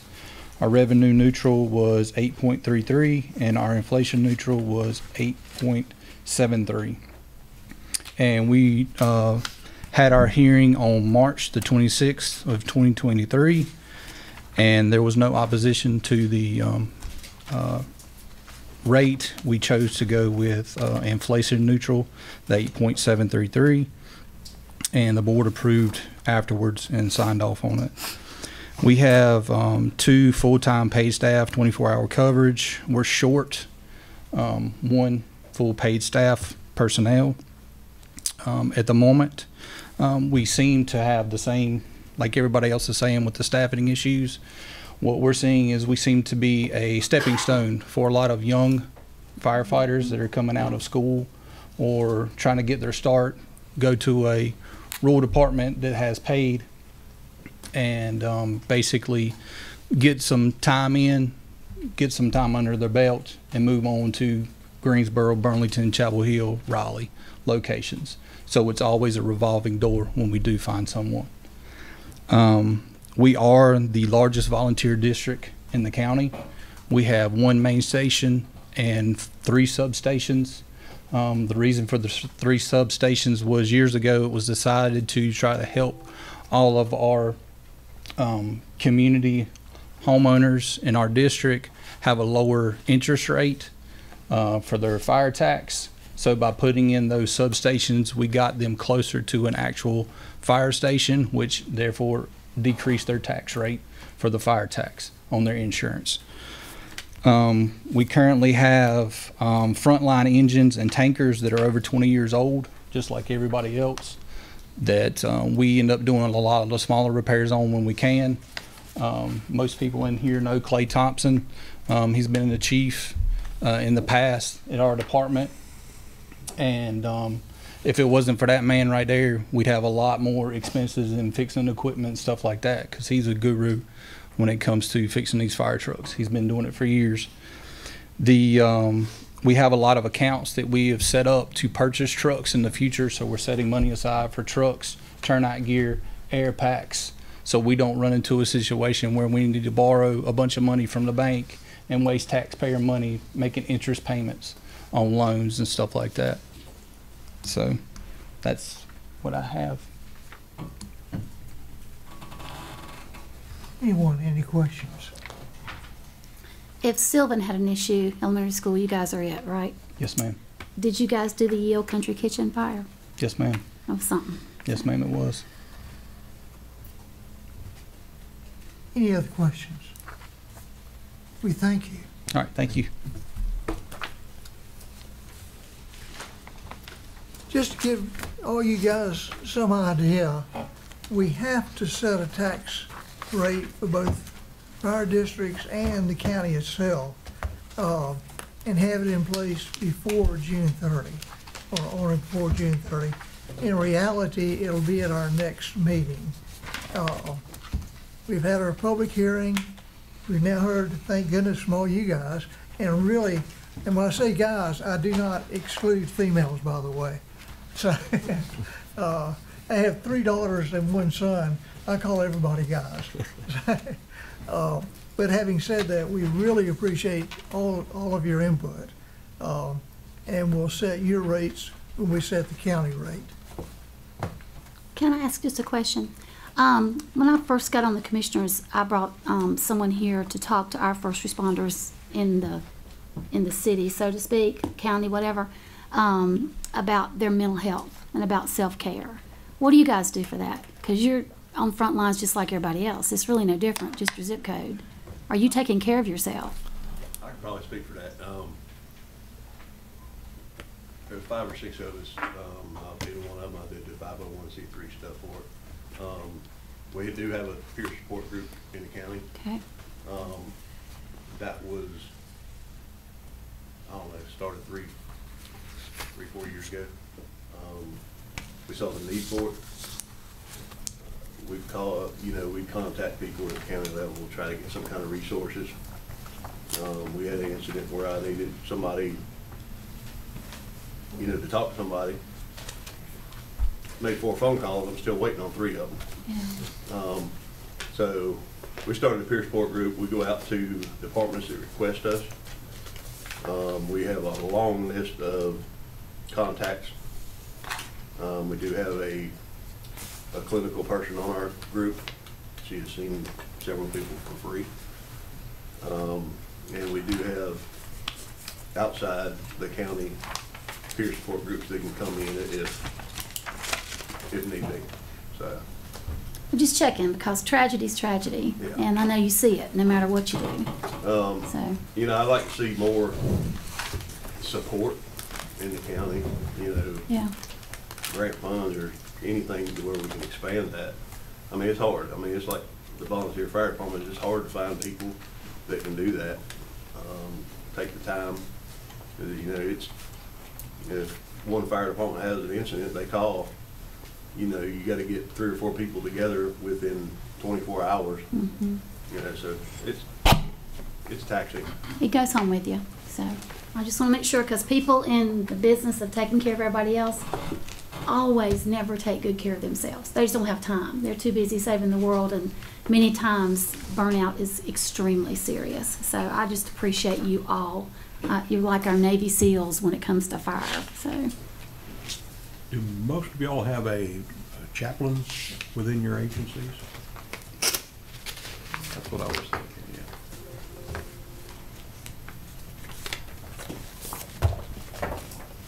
Okay, county manager? Are we ready to move on to the next item on the agenda? We have a few adjustments that we wanted to walk you through related to the manager's recommended budget and what's captured in the new document for you.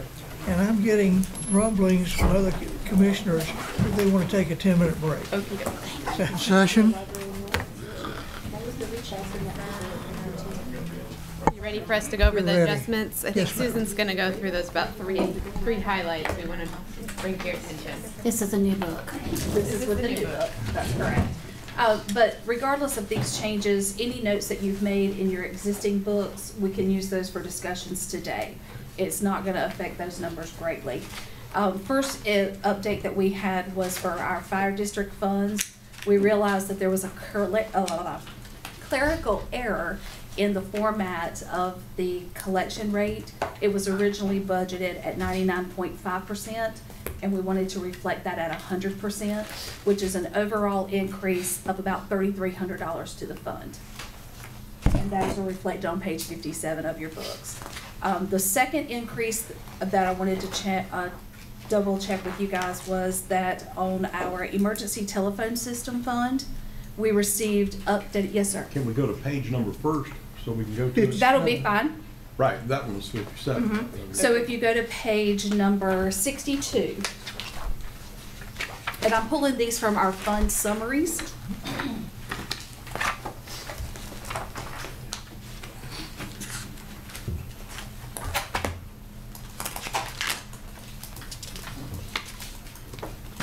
New sixty-two. Oh. Yes, ma'am. It's, on page sixty-two as well. All right, so for page sixty-two, it's gonna be our emergency telephone service fund. And we received notification from the state of North Carolina that the nine-one-one proceeds that we would receive from the state was gonna be reduced to seven hundred seventeen thousand, five hundred ninety-three dollars, which they were originally budgeted at eight ninety-nine, three eighty. So to go ahead and get those changes incorporated into the budget without having a budget amendment at the first of the next year, we adjusted the use of fund balance for that fund to be two hundred eight thousand, seven hundred eighty-seven. There are no changes to their expenditures. That is all revenue. Can you say that again? Sure. Uh, there are no change to the expenditures. Revenue change is to budget two hundred eight thousand, seven hundred eighty-seven dollars of fund balance and reduce the state funding to seven hundred seventeen thousand, five hundred ninety-three dollars. You said that it's a hit to the fund balance. That's correct. Okay. I thought you said no additional expenditures. It's no additional expenditures. We're, Just the revenue is short. it's the revenue will be shorted by the state. Yes, sir. Okay, and then our last update, um, it's actually gonna be across several pages, uh, because it affects two different departments, but if you turn to page number fifty-four and fifty-five, that's gonna be our general fund summary expenditures. That wasn't me that time. No, no, no. I thought I did. Um, so we realized going back Just through. wake you up, Cheryl. uh, we realized going through that we needed to also include some training pay for our EMS staff. They are required to have 36 hours. That would um, create an additional expense of $116,901. Um, then also realized that there was a position in the library for a passport um, admin, admin person there. So that was a reduction to the general fund budget of fifty-seven thousand one hundred eighty-nine. That resulted in us needing to then budget an additional fifty-nine thousand, seven hundred twelve dollars for fund balance to even out those expenses.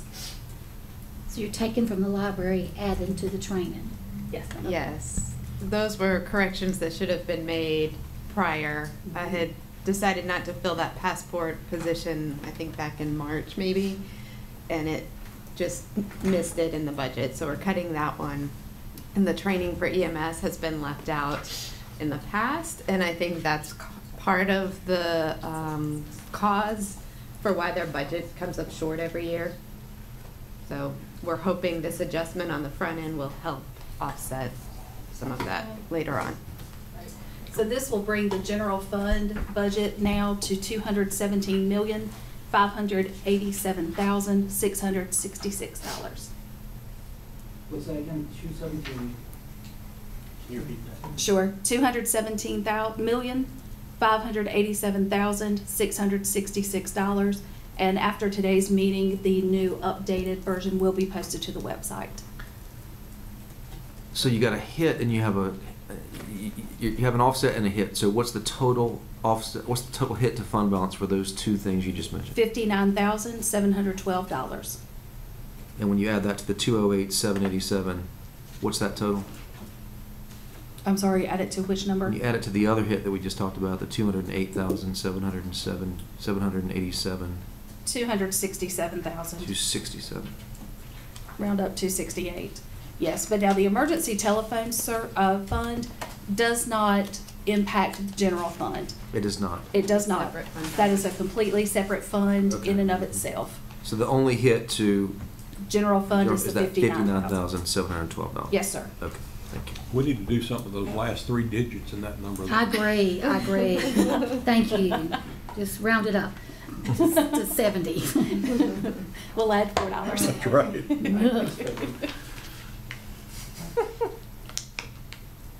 Maybe we'll chew on the nose.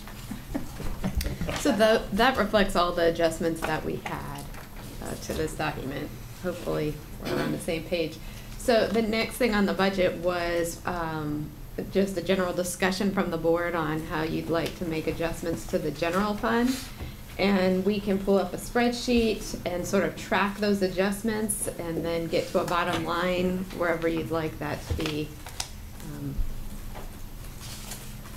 we felt like this was probably the simplest way, so under the target, um, if you wanna shoot for revenue neutral, we have the reduction that it would require for us to get there. If you wanna shoot for the inflationary neutral, we have that as well. Or we can just start listing cuts and see where we get. We'll list those, uh, on the left column there.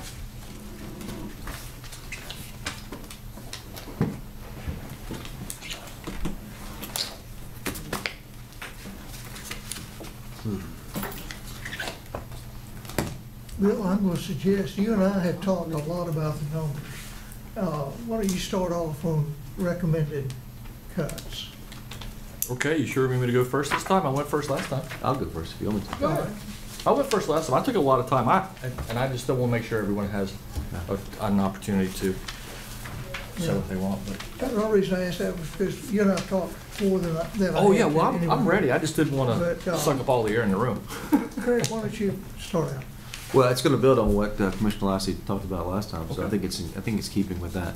Um, First of all, the, the target number, what number are you using for revenue neutral? Is that a rounded number or not? It is not rounded. We went with the absolute pure number of forty-two fifty-nine. Okay. Um, If we start with the, uh, with the Davenport model for ABSS, well, let me back up and say that, that I believe, after looking at these numbers for a couple weeks, that there is a combination of funds existing in the system now and cuts that we can make to get to revenue neutral. Um, th- There's existing, I think it's, it's a reapportionment of some funds that uh, I think can get us a long way.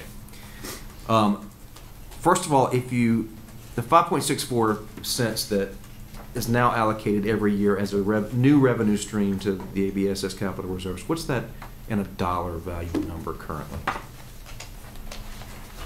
Bear with me just one second. nine million something? We'll Nine- say it's- Nine, nine point two?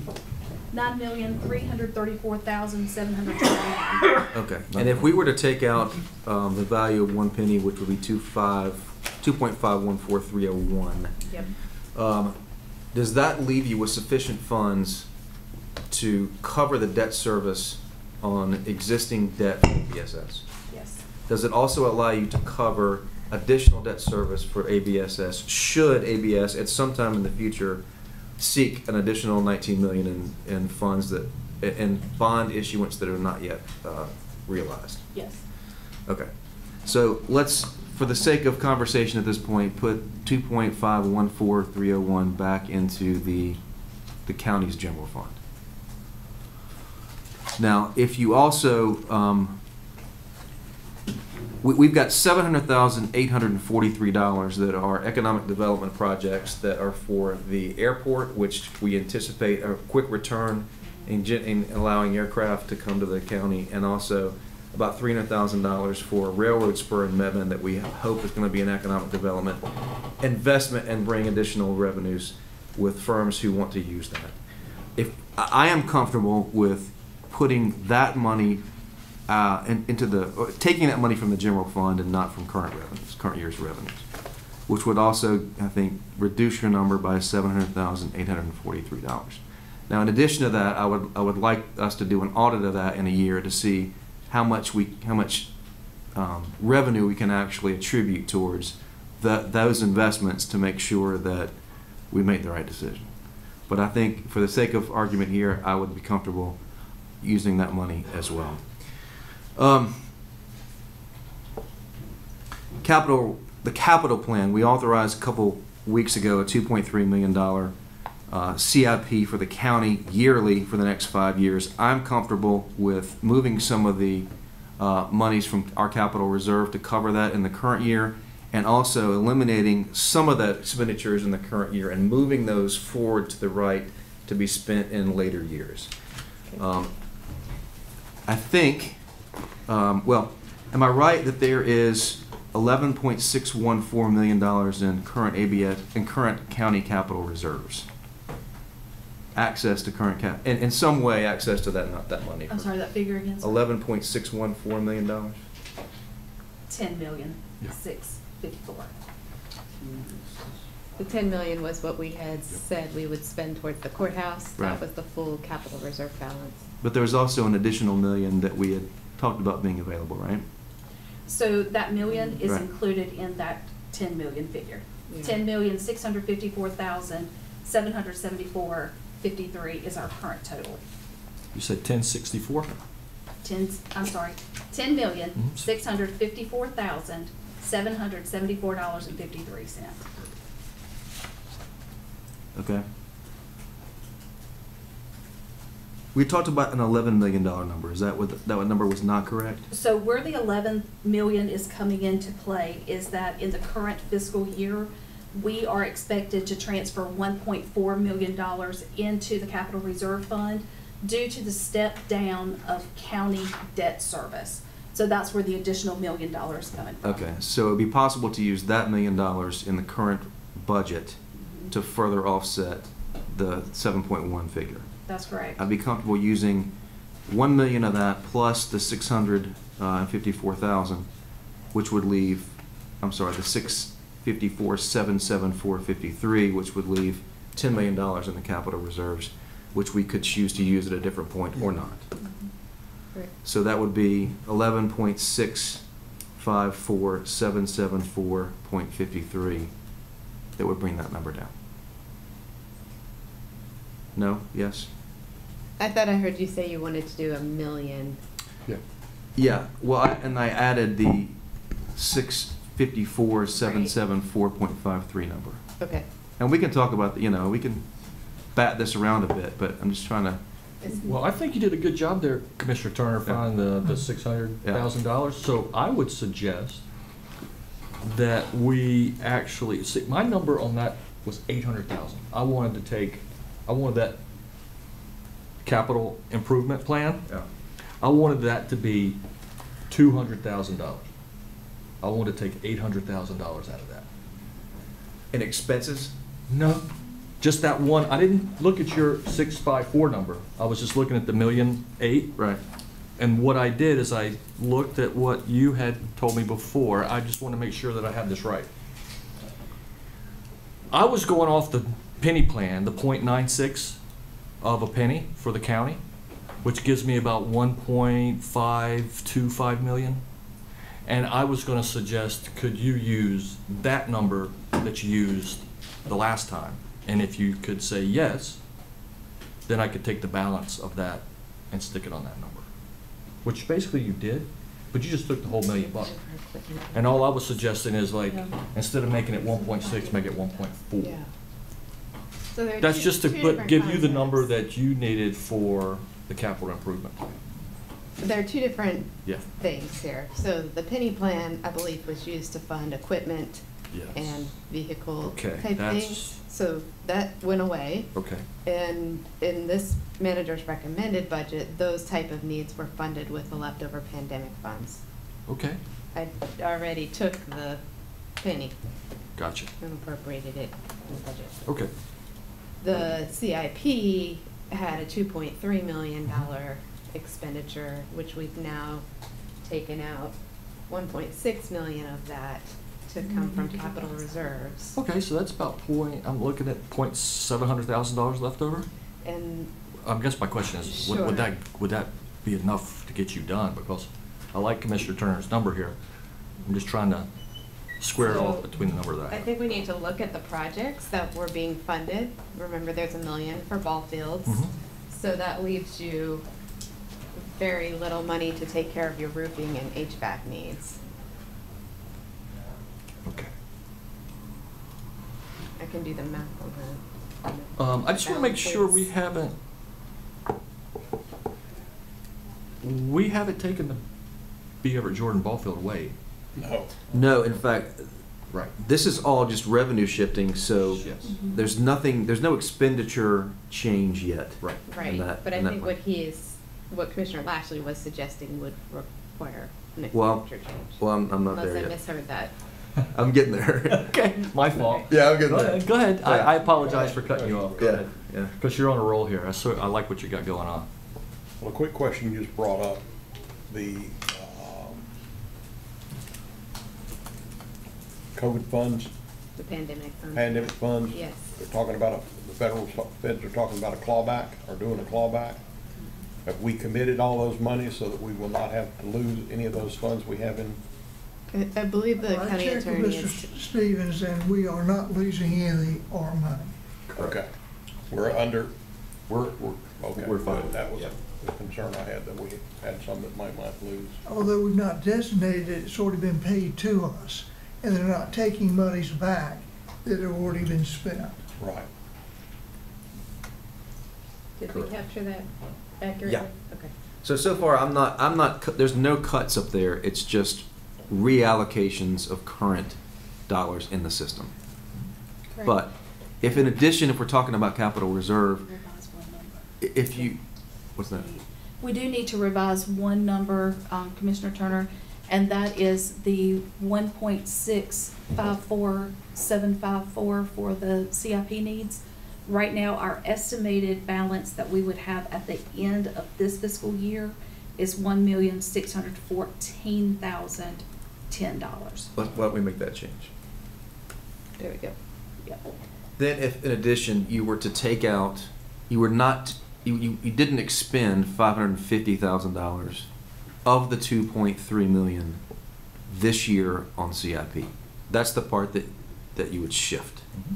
So out of the ten projects or so, it would be finding five hundred fifty thousand dollars savings, either pushing something off or pushing a portion of something off, or just moving it even to next July. So I think, let's, let's put that up there and see if that's, if, how we feel about that. But that would be five hundred fifty thousand dollars in savings, which is an actual cut. Okay, so a reduction of CIP spending by five hundred fifty thousand, Correct. Jessica. By next July, you mean July twenty twenty-four? It means next fiscal year. Yep. That's fiscal year. Say five fifty? Five fifty. Um, salaries. if you were, if instead of doing a five percent COLA and a four, and a three percent merit, you reduced it to a four percent COLA and a three percent merit, that would save seven hundred thousand dollars? Seven seventy? Three hundred and sixty-two. Plus, you're gonna, you're gonna add, did you say you're gonna add the No. merit? You're gonna stay at three? stay at three. My bust, you're right, you're dead on. Can you just say again? Sorry. The COLA. It's a four, it's, it's just a reduction of one percent COLA, which would be a reduction of seven hundred forty-eight five. Seven forty-eight. Seven fifteen. Four seven seven. Four seven seven. Okay. Give me that again, please. It is, it Seven. is a four percent COLA. It's, it's just a one percent reduction in COLA. That's, that's the only change. Right. But based on manager's, manager's recommended. Give me the number it saves. Uh, seven hundred and forty-eight thousand, four hundred and seventy-seven dollars. Thank you. If in addition you were to obtain cuts in the legal budget of hundred thousand dollars. Mr. Stevens, how do you feel about that? Um, I, I think, well, like I said to you before, um, it's difficult for us to really know from one year to the next what we're gonna be spending on outside counsel. Um, we're in a somewhat unique position there in that our expenses are dictated by the litigation that comes in, and so we're not always able to, to plan those out. I will say we have some litigation ongoing at this point that's going to start incurring costs against that outside counsel budget uh, more over the next year than it has over the past year. But our expenses related to day-to-day costs for outside counsel expenses have come down. So I, as long as the board is willing to entertain my approach for more funds as needed, if we incur additional costs, then we can sustain hundred thousand dollars less. So let's just put it in there for the sake of putting it in there for a second. Um, so that's hundred thousand dollars reduction in legal. Um, if you did a similar hundred thousand dollars in reduction in elections.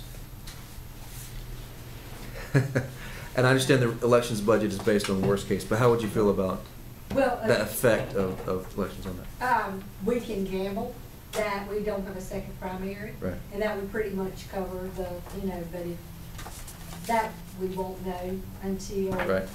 Um, after March, if we would have that, um, possibly in May. Also, um, you do know we get reimbursed for the, uh, municipal elections, which is in October and November if we have a primary. Um, and in the twenty-three, in twenty-one, um, we received, uh, we were reimbursed for, um, put the glasses on so I can see here. Um, the reimbursement was from the Burlington primary and then the, all the municipalities. It was a total of uh, a little over hundred and sixty-two thousand dollars. So anticipate if we have a primary and then the municipal elections, you know, we're reading, that much is reimbursed back to the county as well. So the, the downside of doing this is if we had too many elections in the year, you'd have to seek some more additional funds. Correct. Okay. Exactly. I mean, we're, we're definitely gonna have the November, we'll definitely have the March. Right. Um, question, we won't know until filing in July Right. if we'll have a municipal primary. But from the phone calls we've gotten so far and people coming in the office, it's, we are anticipating, So uh, October primary. And if you have that, then you couldn't live with the, with the cut? No, no, no. Oh. Uh, no, what I'm saying is that, those two we would be reimbursed for. Okay. Okay. Um, March, we have the uh, presidential primary. Okay, we possibly, we will not know till after that if we would have the, um, Runoff? right, the ma, the second primary. We can gamble that we don't, the cost, um, estimated for the second primary is basically around hundred and ninety-four thousand dollars. No, no, excuse me, hundred and forty thousand dollars. So we could, like I said, if we have to, cut, if we do, Right. if you cut it, and then we do come, have a second primary, uh, You'll need more money. I would need to come to y'all for more money All right. at that point. Let's put a pin in that one. Uh, if you cut one vehicle, that'd be fifty-seven thousand dollars. That was the sheriff's vehicle estimate for fifty-seven, so he has ten funded in this budget. Yes. And also, I asked for um, the positions that we have in the county that are not EMS, sheriff, or DSS that are not filled. Current there were- vacant positions, yes. And there were 22 that are not filled. If you froze those for 90 days, well, the passports manager's on here, but you've already taken that out. I've already taken that out, yes, sir. So if you were to freeze those positions for 90 days, all 21 of them, what would the impact be? Two hundred eighty-four thousand nine hundred seventy-four dollars. Can we put that in there? How much? Two hundred eighty-four thousand nine hundred seventy-four dollars. It's a ninety day, sir. It's a 90 day. If there are, it looks like there are two library two positions, a library three position, a library assistant one. If you were just to eliminate or freeze one library two position out of those four, what would uh, that savings be? If you were to freeze that for the year? A librarian two, Yeah. sixty thousand six hundred eighteen dollars. Where's that located? Which, which library? I think Susanna's prepared to address Uh, that. that's the May Memorial Library branch manager. Okay. Are they both that? There's actually only one librarian, two position vacant right now. We've got two on here, both at May Memorial. Um, no, uh, No. we recently filled, we reclassified a librarian two to a librarian one and Okay. filled that on May sixteenth. Close. Okay, It could be a timing issue. Mm-hmm. so we may need to adjust the two eighty-four number. Right, so there's, there should be a librarian three and then a librarian two vacant right now that I So Okay. So then, and then we need to adjust it a little bit further because the figure that I gave previously, the two hundred eighty-four thousand, included the ninety-day freeze of the librarian two position. So revised figure two eighty-four becomes two hundred sixty-nine thousand, eight hundred nineteen dollars. Then if the librarian two position were to be eliminated, Frozen. frozen, that would be an additional forty-five thousand, four hundred sixty-four dollars. That would be the remaining nine months. Okay. Makes sense. Let's put that in there. It's a big B. Do we need to have a discussion about what that means to May Yeah, let's have a discussion about what that Susanna, means. could- Well, well, I, well, there, I mean, eh, there are library two, library three, library one. I mean, th- it, I don't know what eliminating e- any of them might mean. Right. Sorry. Um, so a librarian one is an entry-level librarian position for someone who has a master's degree. Um, in our system, they serve the entire county. Their position travels to all the branches filling their role. They have a specialty such as youth services, adult services, technology, emerging technologies, and they travel to meet and have programs and um, facilitate the needs at all the branches. A librarian two is a branch manager level, so they are managing the staff and the facilities um, um, of a single location. May Memorial is the one that's vacant, which is of course the largest facility, um, houses thirty-five staff. um, Also houses a lot of the central services that we offer, you know, like the, when books come in, they all come to May Memorial and get processed and then they get delivered by couriers to the, to the locations. Um, so this person manages, yeah, the twen- the twenty-two staff that are serving the Burlington and the community. Um, so that myself as the branch manager doesn't, doesn't have to manage the building on top of that. The librarian three position is the, my assistant director, um, which is currently vacant because she retired on April first. So, um, in the, the, you know, the, the happy world where I have one, that is my, um, sort of like HR liaison, ha- handling the hiring, um, the, those procedures, facilities, they supervise the branch managers and fill in when there are vacancies and when there are vacations. Um, the step up from that is, of course, myself, the, the director. So, at the moment with the vacancies, I am also acting as the assistant director and the branch manager for the May Memorial Library. So it's been a chaotic time, but So if we froze the library assistant one, then you'd still have the assistant operations and the library two for Memorial. which one is that?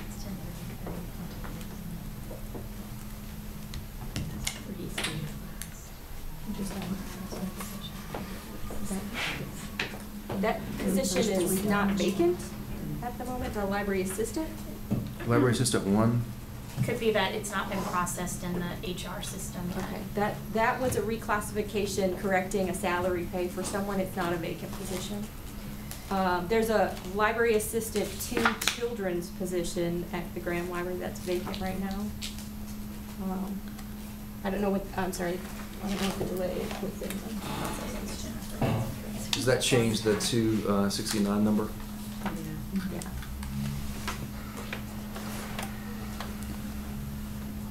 Let's change, let's change that number to what it, what it would be. Yeah, library assistant positions within the library are full-time, normally full-time positions that are paraprofessionals. So they, you know, fill fifty to sixty percent of their time covering a service desk, and then they have supplemental duties such as programming, or usually programming, um, or offering, um, running the services that, that happen behind the scenes. Yeah, the ten thirty-three was reclassed to sixteen oh seven. Because I can't see you. Okay. I'm sorry. It Should be. So can we figure out what that new number is? All right, so I want to make, be clear, what exactly are we leaving in and We're what are we're we taking putting out? back in the library assistant one, right? Okay, that one? Or actually, we're taking it out of the cut. We're uncutting it. Okay, that one is now uncut, so that would still be a ninety-day freeze on the librarian two and a librarian three position, correct? Well, I think, Which is You- what you- you're doing with all the other positions. well, but for the two sixty-nine, eight nineteen number, you have to put back in a library one who was, who you can't freeze because they're already there. Right, so I'm just making sure that we're leaving everybody there for the ninety days. Yes. So that number is now two hundred eighty-two thousand, seven hundred fifty-nine dollars, Okay. rounding up to a dollar.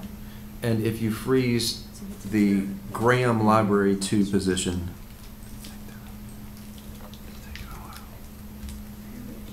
for the children's,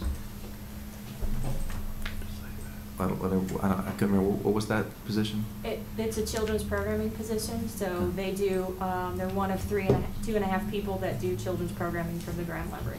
Could the, the other library assistants who are there cover that work? They've done it short-term, we've never done it for a full year, so possibly, but, it, you know, it may eventually come up to a problem, but, Okay. um, Well, that's, we've done it short-term with vacancies, but. Let's just leave it in for now and, and then we'll come back to it. Um, finally, the last section that I have deals with outside agencies. I understand that Camp Greensleeves is really something that we need to do based upon federal funding or federal re- regulations on athletics. Um, do you want to answer that? Yeah, I- so the advantage of Creek, Camp Greenleaves is that it provides a level of service that we don't provide at our other, uh, summer camps. So when someone with, uh, special needs would come to us at a traditional summer camp, we are in a position to say, we can't serve you here at this camp, uh, but we have another place for you to go, and it gives us uh, that ability. So I, I don't know that we have to support it at any particular level, but it is certainly beneficial to have a place to send people that we just don't have the staffing to uh, serve at a normal summer camp. Okay, so if we leave that in and take out the other outside funding, we'd save 270 four thousand dollars, is that right? Uh, you're talking about the Outside agencies. Crossroads and the JCPC? Yes, the JCPC match, which is new, as I understand it. Crossroads, which was originally funded uh, as art funding, which we changed in family abuse. If you took those out, it'd be two seventy-four thousand in savings, if I'm understanding that correctly. That is correct, those three line items. And I thought that, uh, I thought my number was gonna get us farther down, but I think there've been some changes since I last looked at these, so, um, I'm not down as far as I thought I would be. Uh, But what would that number be I think we'd be about three hundred thousand dollars above revenue neutral.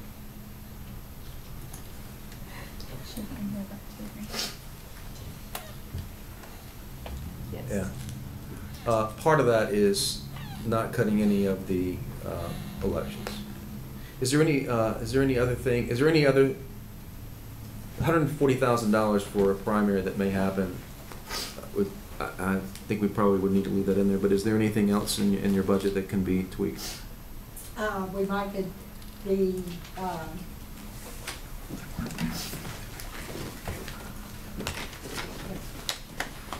uh, right now, we have a line item for, um, an attorney, which we haven't used, um, you know, we, we use the county attorney currently, but if the Board of Elections was sued, then we would have to seek outside, um, Outside council? council for that, uh, that's seven thousand dollars right there. Seven. Yeah, that we have budgeted in that line item. Um, we have, Uh, Just to speak to that, we've absorbed those costs, and we're happy to continue to do that. They've been good stewards of the money that we've allowed them to use as part of our budget. But just to be clear, also, one of the things that would be frozen, one of the positions to be frozen in, in your proposal is the currently vacant assistant county attorney position. So I know I had said before that hundred thousand dollars wouldn't probably impact our ability to work throughout the year, but if we're gonna have a quarter of our year with that position frozen, then my answer might change somewhat.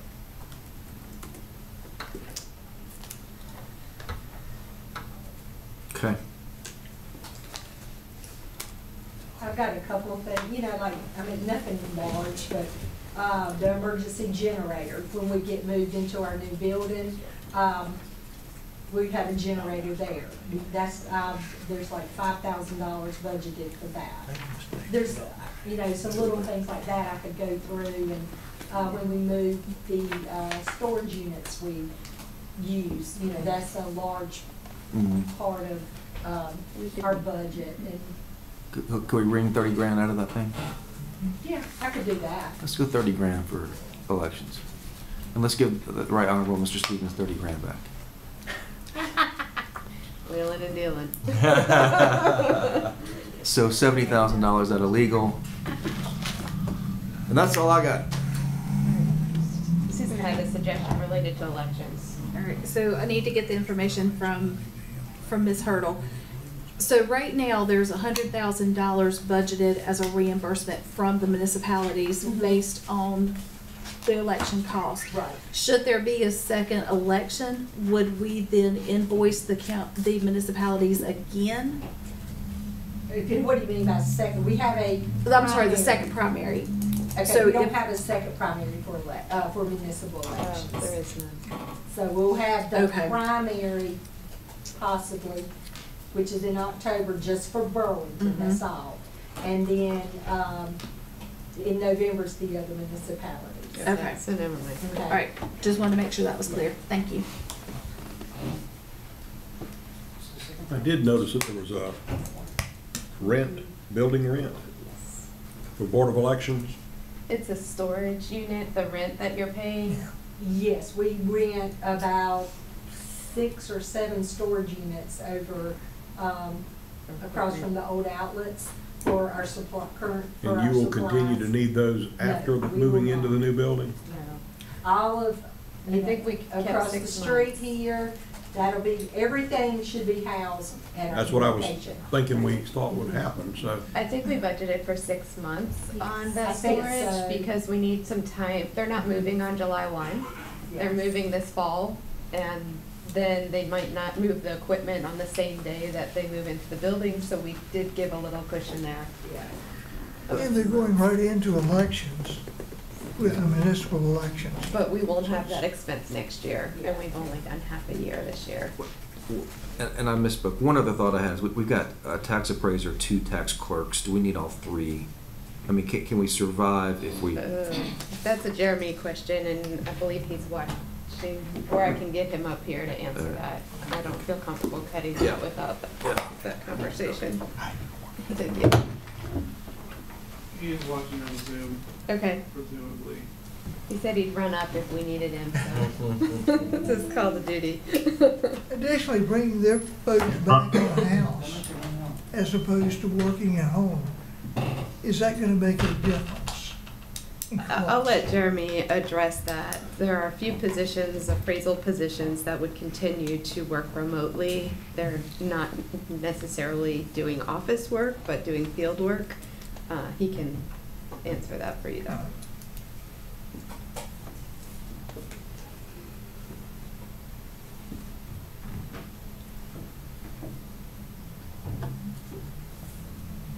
You wanna pick up where you left Yeah, off? do you wanna, we come back to the You wanna tax pick up where he positions. left off? No, I want to hear from somebody else. You all right? We're definitely gonna take the one penny away from the, uh, repayment of the bond money with the school system. Did you mention that? That's the first item on there. I can't see it.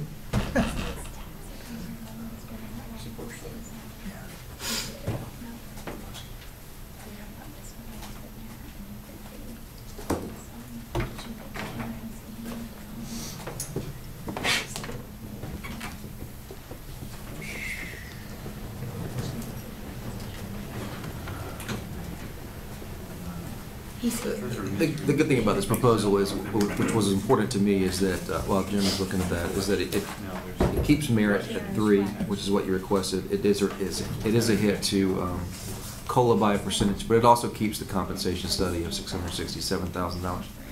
For January, which is intended, as I understand, to hit, um, hard-to-fill positions in DSS, EMS, Sheriff's Office that are, uh, it it brings those to up to a market level in comparison to other Yes.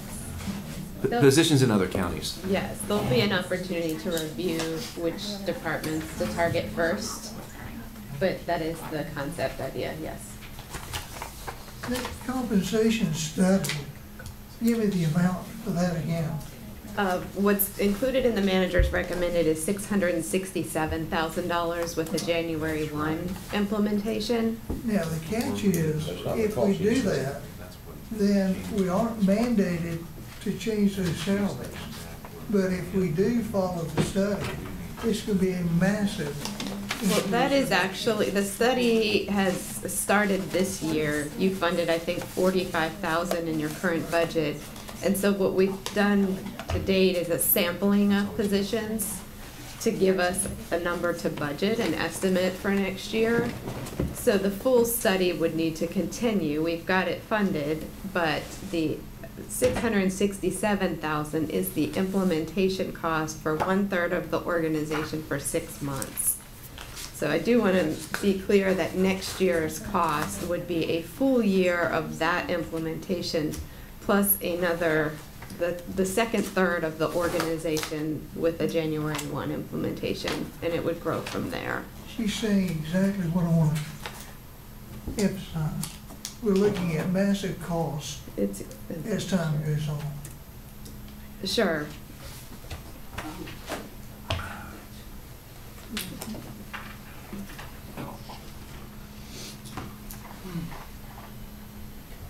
I don't know what the number for the sheriff was this year. I remember last year, I think it was, when we were budgeting last year, didn't you have seven hundred and fifty thousand dollars in the cost to train replacements? The sheriff's office, do you know, have an idea of what that is this year? Uh, we can, I can get it to you, but at this point, I don't know. We're spending a pile of money training We're spending replacements. in pile. Very expensive when we have high turnover, which is what we're facing. I think we're at nineteen percent turnover right now. It just makes sense to get us in a position where we're not having to constantly refill a revolving door. And I sent, it- I sent Heidi, I don't know, did you share that with the other commissioners, or did, Uh, the study from, the I- I the did information not. from Burlington? I did not. Uh, Did you want that shared? I got a, You sent it last night, and Yeah. I sent it to Cheryl from HR just to give me some context on that. if I send that to somebody, can they pull pull that up? Yes, we send it. Yeah, if you send it to me, sir, I can pull it up. You can Okay. Email it to me. I think it'd be something good for us to look at. While we're talking about that, quick question for Tori. The, the governing, the sp- the expenditures for the governing body and the recommended budget is right at three hundred twenty thousand dollars. Last year it was two ninety, two ninety-five. Do you, the year before that it was two fifty. Do you know how much the board typically spends on its own expenses? And whether there's slop there? What page Because? I would bet, I'm sorry, one oh five. I, I would bet that the board does not spend all of its allocation on travel and phones and. Um,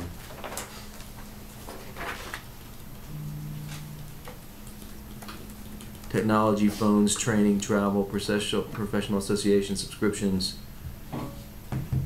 Now, the professional subscriptions and the dues, yes. Um, but all the training budget, you usually don't spend all. So can we find a hundred, hundred grand in that three hundred nineteen thousand dollar budget? Will you speak to that? No. No? Uh, I'm sorry, no, sir. Um, so. No. Um, so actual expenditures so far this year, um, for governing body is two hundred sixty-one thousand, one hundred seventy-two dollars and ninety-six cents. Um, where we have seen an additional increase in budget of fifteen thousand is in our insurance and bonds. Um, so liabilities continue to go up there to have coverage. So in my professional opinion, I don't believe that there's hundred thousand dollars there because then that would bring your recommended budget down to two hundred and nineteen thousand. Yeah. And that would currently exceed your expenses of 261,000. Are, are there any savings there? Um, we could look at individual line items. Um, if I'm looking at last year's budget, there was an original budget of two hundred and sixty-four thousand, and we spent two hundred fifty thousand. So roughly fourteen thousand dollars was available at the end of June thirtieth, two thousand twenty-two of budget. Got fifteen grand? We'd have to look. Yeah. How much I is bet the we cell phone? find Yeah, so, so really your Half of a fifteen percent. grand is looking at the increase that we had in, um, Insurance. insurance. How much is the cell phone bill? Uh, Bear with me just a minute. Take your time.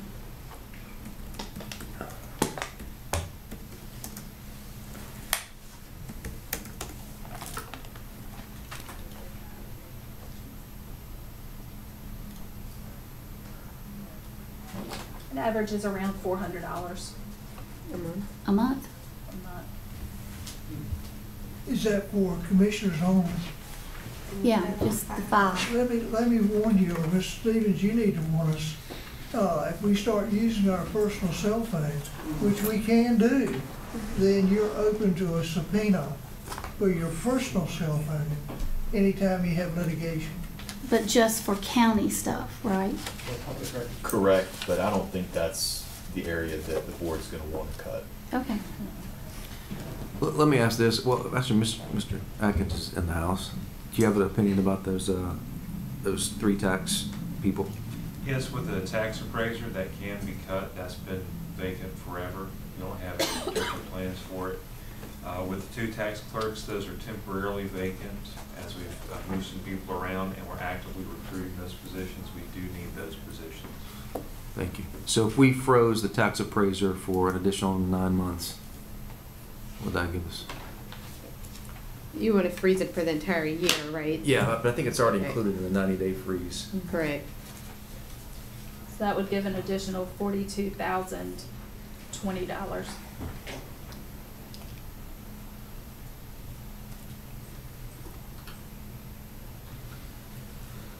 I'll mention something else, just, I would not advocate this, I don't think, but it would get, it would get to zero.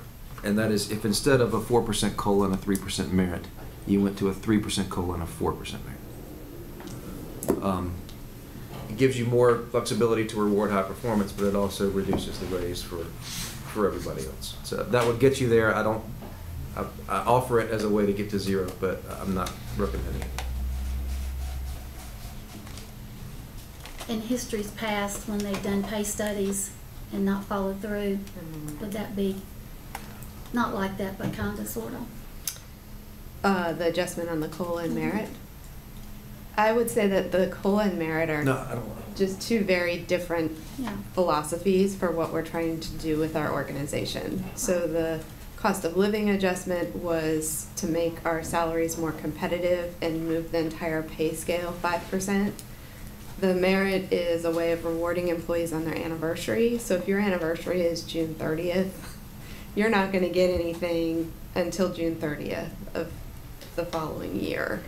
That's why it's a little bit cheaper. The cost of living adjustment goes to every position on July one. Okay. And they're just addressing different things. Your merit pay is a pay for performance. And this is all the agencies This is everybody. This is your DSS, your sheriff. That every- have all these shortages. Yes, all of the positions would, would increase by five percent. The starting pay, even if it's vacant, goes up five percent. That we're having trouble filling. Looks it's four forty, uh, thirty-five now. I know that, uh, two commissioners have commitments at five o'clock, so we kinda need to be wrapping this up. So we need to schedule another work session. Cause I think we're, we're not done. Yeah. Cause Craig's, ha- he's done and there's other, I mean, we're not done, right? Okay. Do you wanna look at your calendars for next week? We could do, I'm having a problem finding that attachment that I sent you. I'll- okay, well, we can get that for the next work session.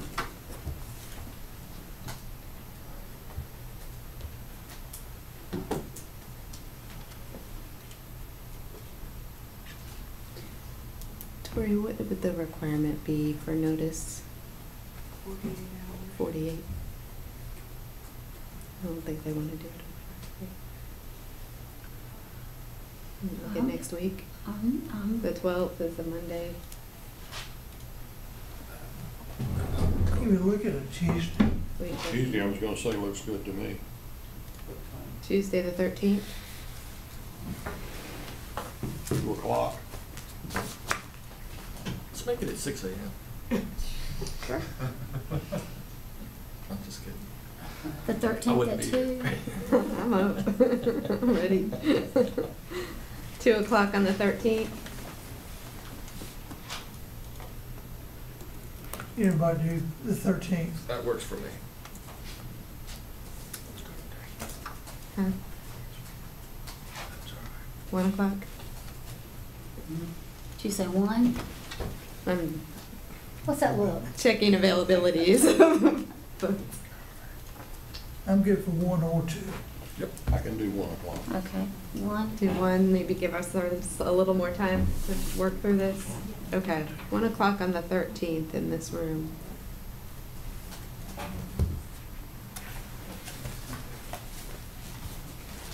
Are there any, uh, i- is there any information you'd like us to prepare for you all? I got two requests. Okay. Let me go to my notes. All right,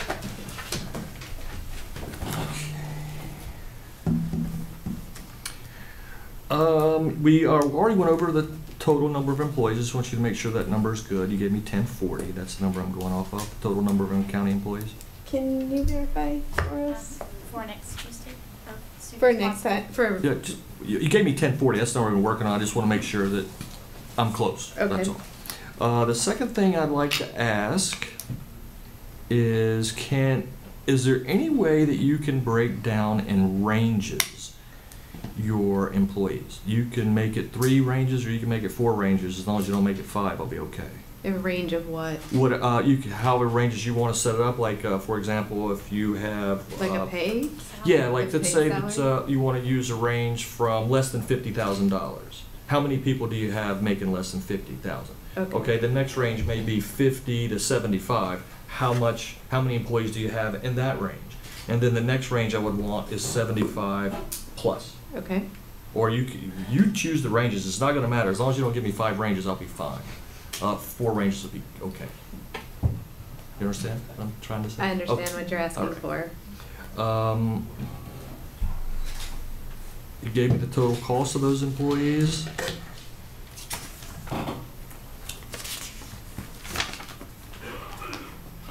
And I got the stuff from ABSS.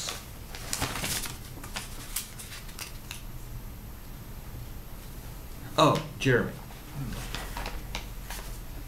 For an educational purpose, for- for, for people, I've had a lot of people in the community ask me how you come up with revenue neutral number. Now, you know, I can shoot the math through them, but mm-hmm. you know how people's eyes glaze over when you do math.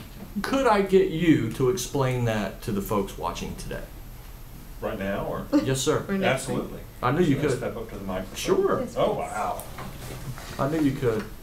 This is the impromptu public speaking part. Yeah. So, um, in calculating the revenue neutral rate, the key is that you want to get to what you would have had this year without revaluation. So you're not looking for what it was last year, you're looking for this year without a reval. So basically, you're going to figure out what your total tax base was last year as a starting point. And then what the statute says is you take the average growth each year from the last revaluation and you apply that to last year's base. That gets you to the hypothetical base for this year. And then, of course, you've moved that real property number. So you're going to find the difference to find, okay, what tax rate applied to the new base with the revaluation gets me back to the same dollars I would have had with that last year's rate brought forward by the average rate of growth year by year. You're just mathematically looking for something that's going to get you to the same bottom line, and that's your revenue neutral rate. Um, it's neutral in regard to all property. So personal property, uh, business property, um, the corporate assessment, everything across the board is what it's supposed to neutralize. Is that helpful? Is Yeah, I guess what I want you to maybe try to do, and I explained it perfectly, and I hope Brenda appreciates that from you. I know she's watching today. Uh, but I was actually curious about uh, the math involved. You know, a lot of folks thought, you know, you may have to have a whiteboard to make this happen, but I have a lot of people say, how do you come up with that number? Uh-huh. And I think, you know, may, may that, this may not be the right place to do it, but I thought, you know, well, if I talk to Jeremy today, I'll get, see if I can get him to do the math. Well, I tell you, there is the handout that we used at the first budget session, and it's kind of in a worksheet format. Um, I can provide that and maybe just some notes to go with it, to have a, a handout or a brochure or a flyer or something, if somebody wanted to, to look through it. And I'd be glad to present it at any time. I, I do think it's easier, if you want the big concept, I can do that verbally on the spot. But if you want to understand really how to do the math, it's a lot easier with a visual. Sure, Mhm. Uh, that's what I was thinking. Yep. Sure. If you, if you do make something up like that, you can email it to me, I'll, Yep. I'll just print it out I can do and it. hand them out. Absolutely.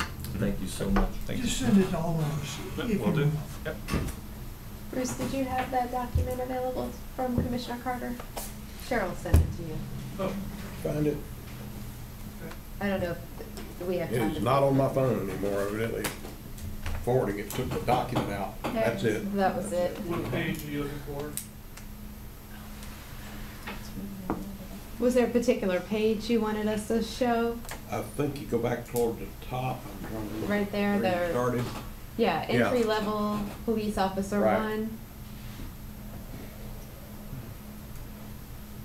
I think that would be equivalent to our entry level sheriff deputy, mm-hmm. and we're paying, what, forty-six thousand? Correct, forty-six. Forty-six thousand would be our equivalent entry deputy I think salary. forty-six seven, isn't it? But Can, can I ask you a quick question, just to clarify something? Because I appreciate you bringing these numbers up. Does Burlington, the city of Burlington, do they give their police officers health insurance? Yes, sir. Yes, you're required. Yes, sir. Does every employee in the city of Burlington get health insurance Yes, as sir. well? So, well, But not dependents. well, they don't work for the city. I mean, it's a great benefit that your employer pays for your health insurance. I can tell you, I've worked all over this country and not one employer's offered to pay for my health insurance except this one. Nobody else has ever offered to do that for me. So it's a gift. We're required to. Cost the taxpayers twenty-two million dollars a year for that gift. So, The Affordable Care Act is what A lot of money. requires that. I did a lot of research on this insurance. I think I could be, a- take the license for insurance salesman after as much time. Been there, done that. Yeah, that's, I just, that information I thought would be pertinent information for us to look at in light of our discussions for our sheriff's office pay. And I mean, that's just one segment of what we're looking at. I mean, I think, uh, if I remember correctly, last week, a week before last, Greensboro announced, I wa- I can't remember if it was Greensboro or Guilford. One of them announced fifty-two as a starting, and the other one announced something in that same range as the starting. I don't know what Orange is green right now. Sheriff, how many deputies do you have? How many total deputies do you have? Not, not detention center. I'm not. One sixty-four. One sixty-four. And how many in detention center? Uh, one forty-seven. Forty-seven. And that one sixty-four is not including SROs, there's seventeen SROs as well. Seventeen SROs. Three twenty-eight total. And the ten thousand forty includes all sheriff and all county employees, is that correct? One thousand and forty is what he's talking about. That's the number that you shot up to us. with. Oh, yes, it does, it does. But all county employees, including the sheriff's. Yes, we office. consider them county employees. Now, what we had discussed at one point was family coverage, and I don't know anybody that's able to do that. That was gonna be just an astronomical number. We can. We can. You have to Uh, how raise the much do you wanna taxes. go up on your Your tax? taxes will go up a nickel at the new rate. Sheriff, didn't you tell me that there's, a that, it was it Guilford or Orange, or Guilford or Greensboro that's providing family coverage? That's Burlington. Burlington. Now, They, they were supposedly, uh, get, uh, That should be in this. Yeah. This, there- there's more than just this piece to this. I didn't get a chance to read it all last night before I forwarded it, but, uh,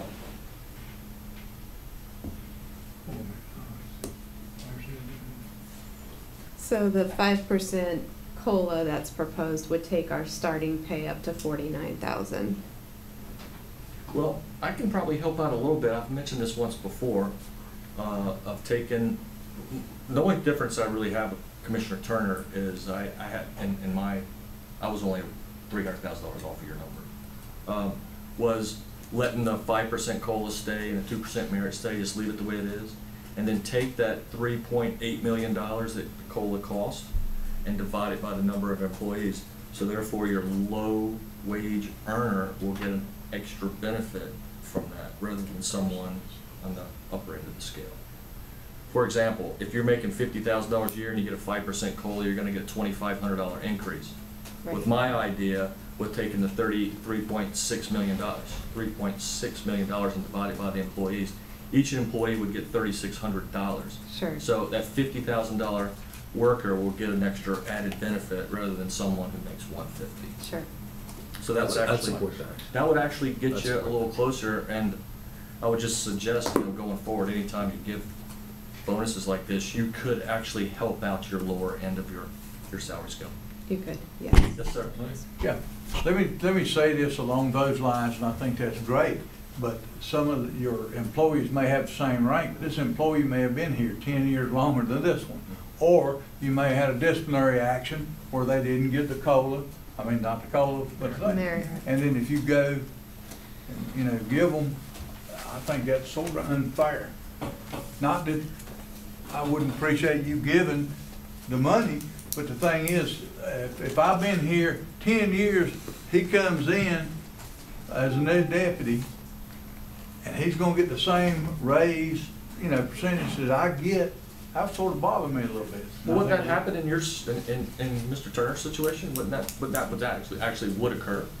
The cost Right. of living adjustment. I mean, if you gave Right. everybody a five percent COLA across the board. Sure. And you didn't take, It's not about their performance, right? It's about making the pay scale more competitive, moving everybody five percent because the budget director and the assistant county attorney are just as difficult to fill as the entry level social worker. So it's just trying to move us to a more competitive position.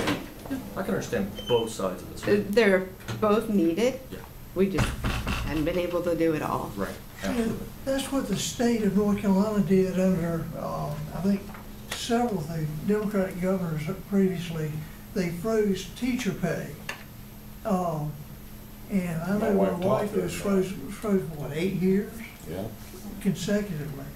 Um, so you were losing the experienced people. Those are the people you cannot afford to lose. Yeah, those rookies, you don't want to lose anybody, but you'd rather lose a rookie than you would a 10, 20 year employee. It takes a long time to get to that top. It just didn't happen. And that's a lot of experience and years involved and commitment. And um, it seems like sometimes when people make a lot more than somebody else, we don't think they should. And um, I think if you work your job, you know, it can't be all the same. Because all the job requirements and descriptions are not the same. And if you keep bumping the low end, eventually you have now the upper end making something comparable to the low end. It, it adds a compression additional issue. issues. That's right. Well, job requirements are totally different. Does That's one, of- that's one of the reasons I like a larger percentage of the raise going to, um, merit and a smaller amount going to those people that are actually performing get the, get reimbursed for doing a good quality job. It's more of an incentive to do better work than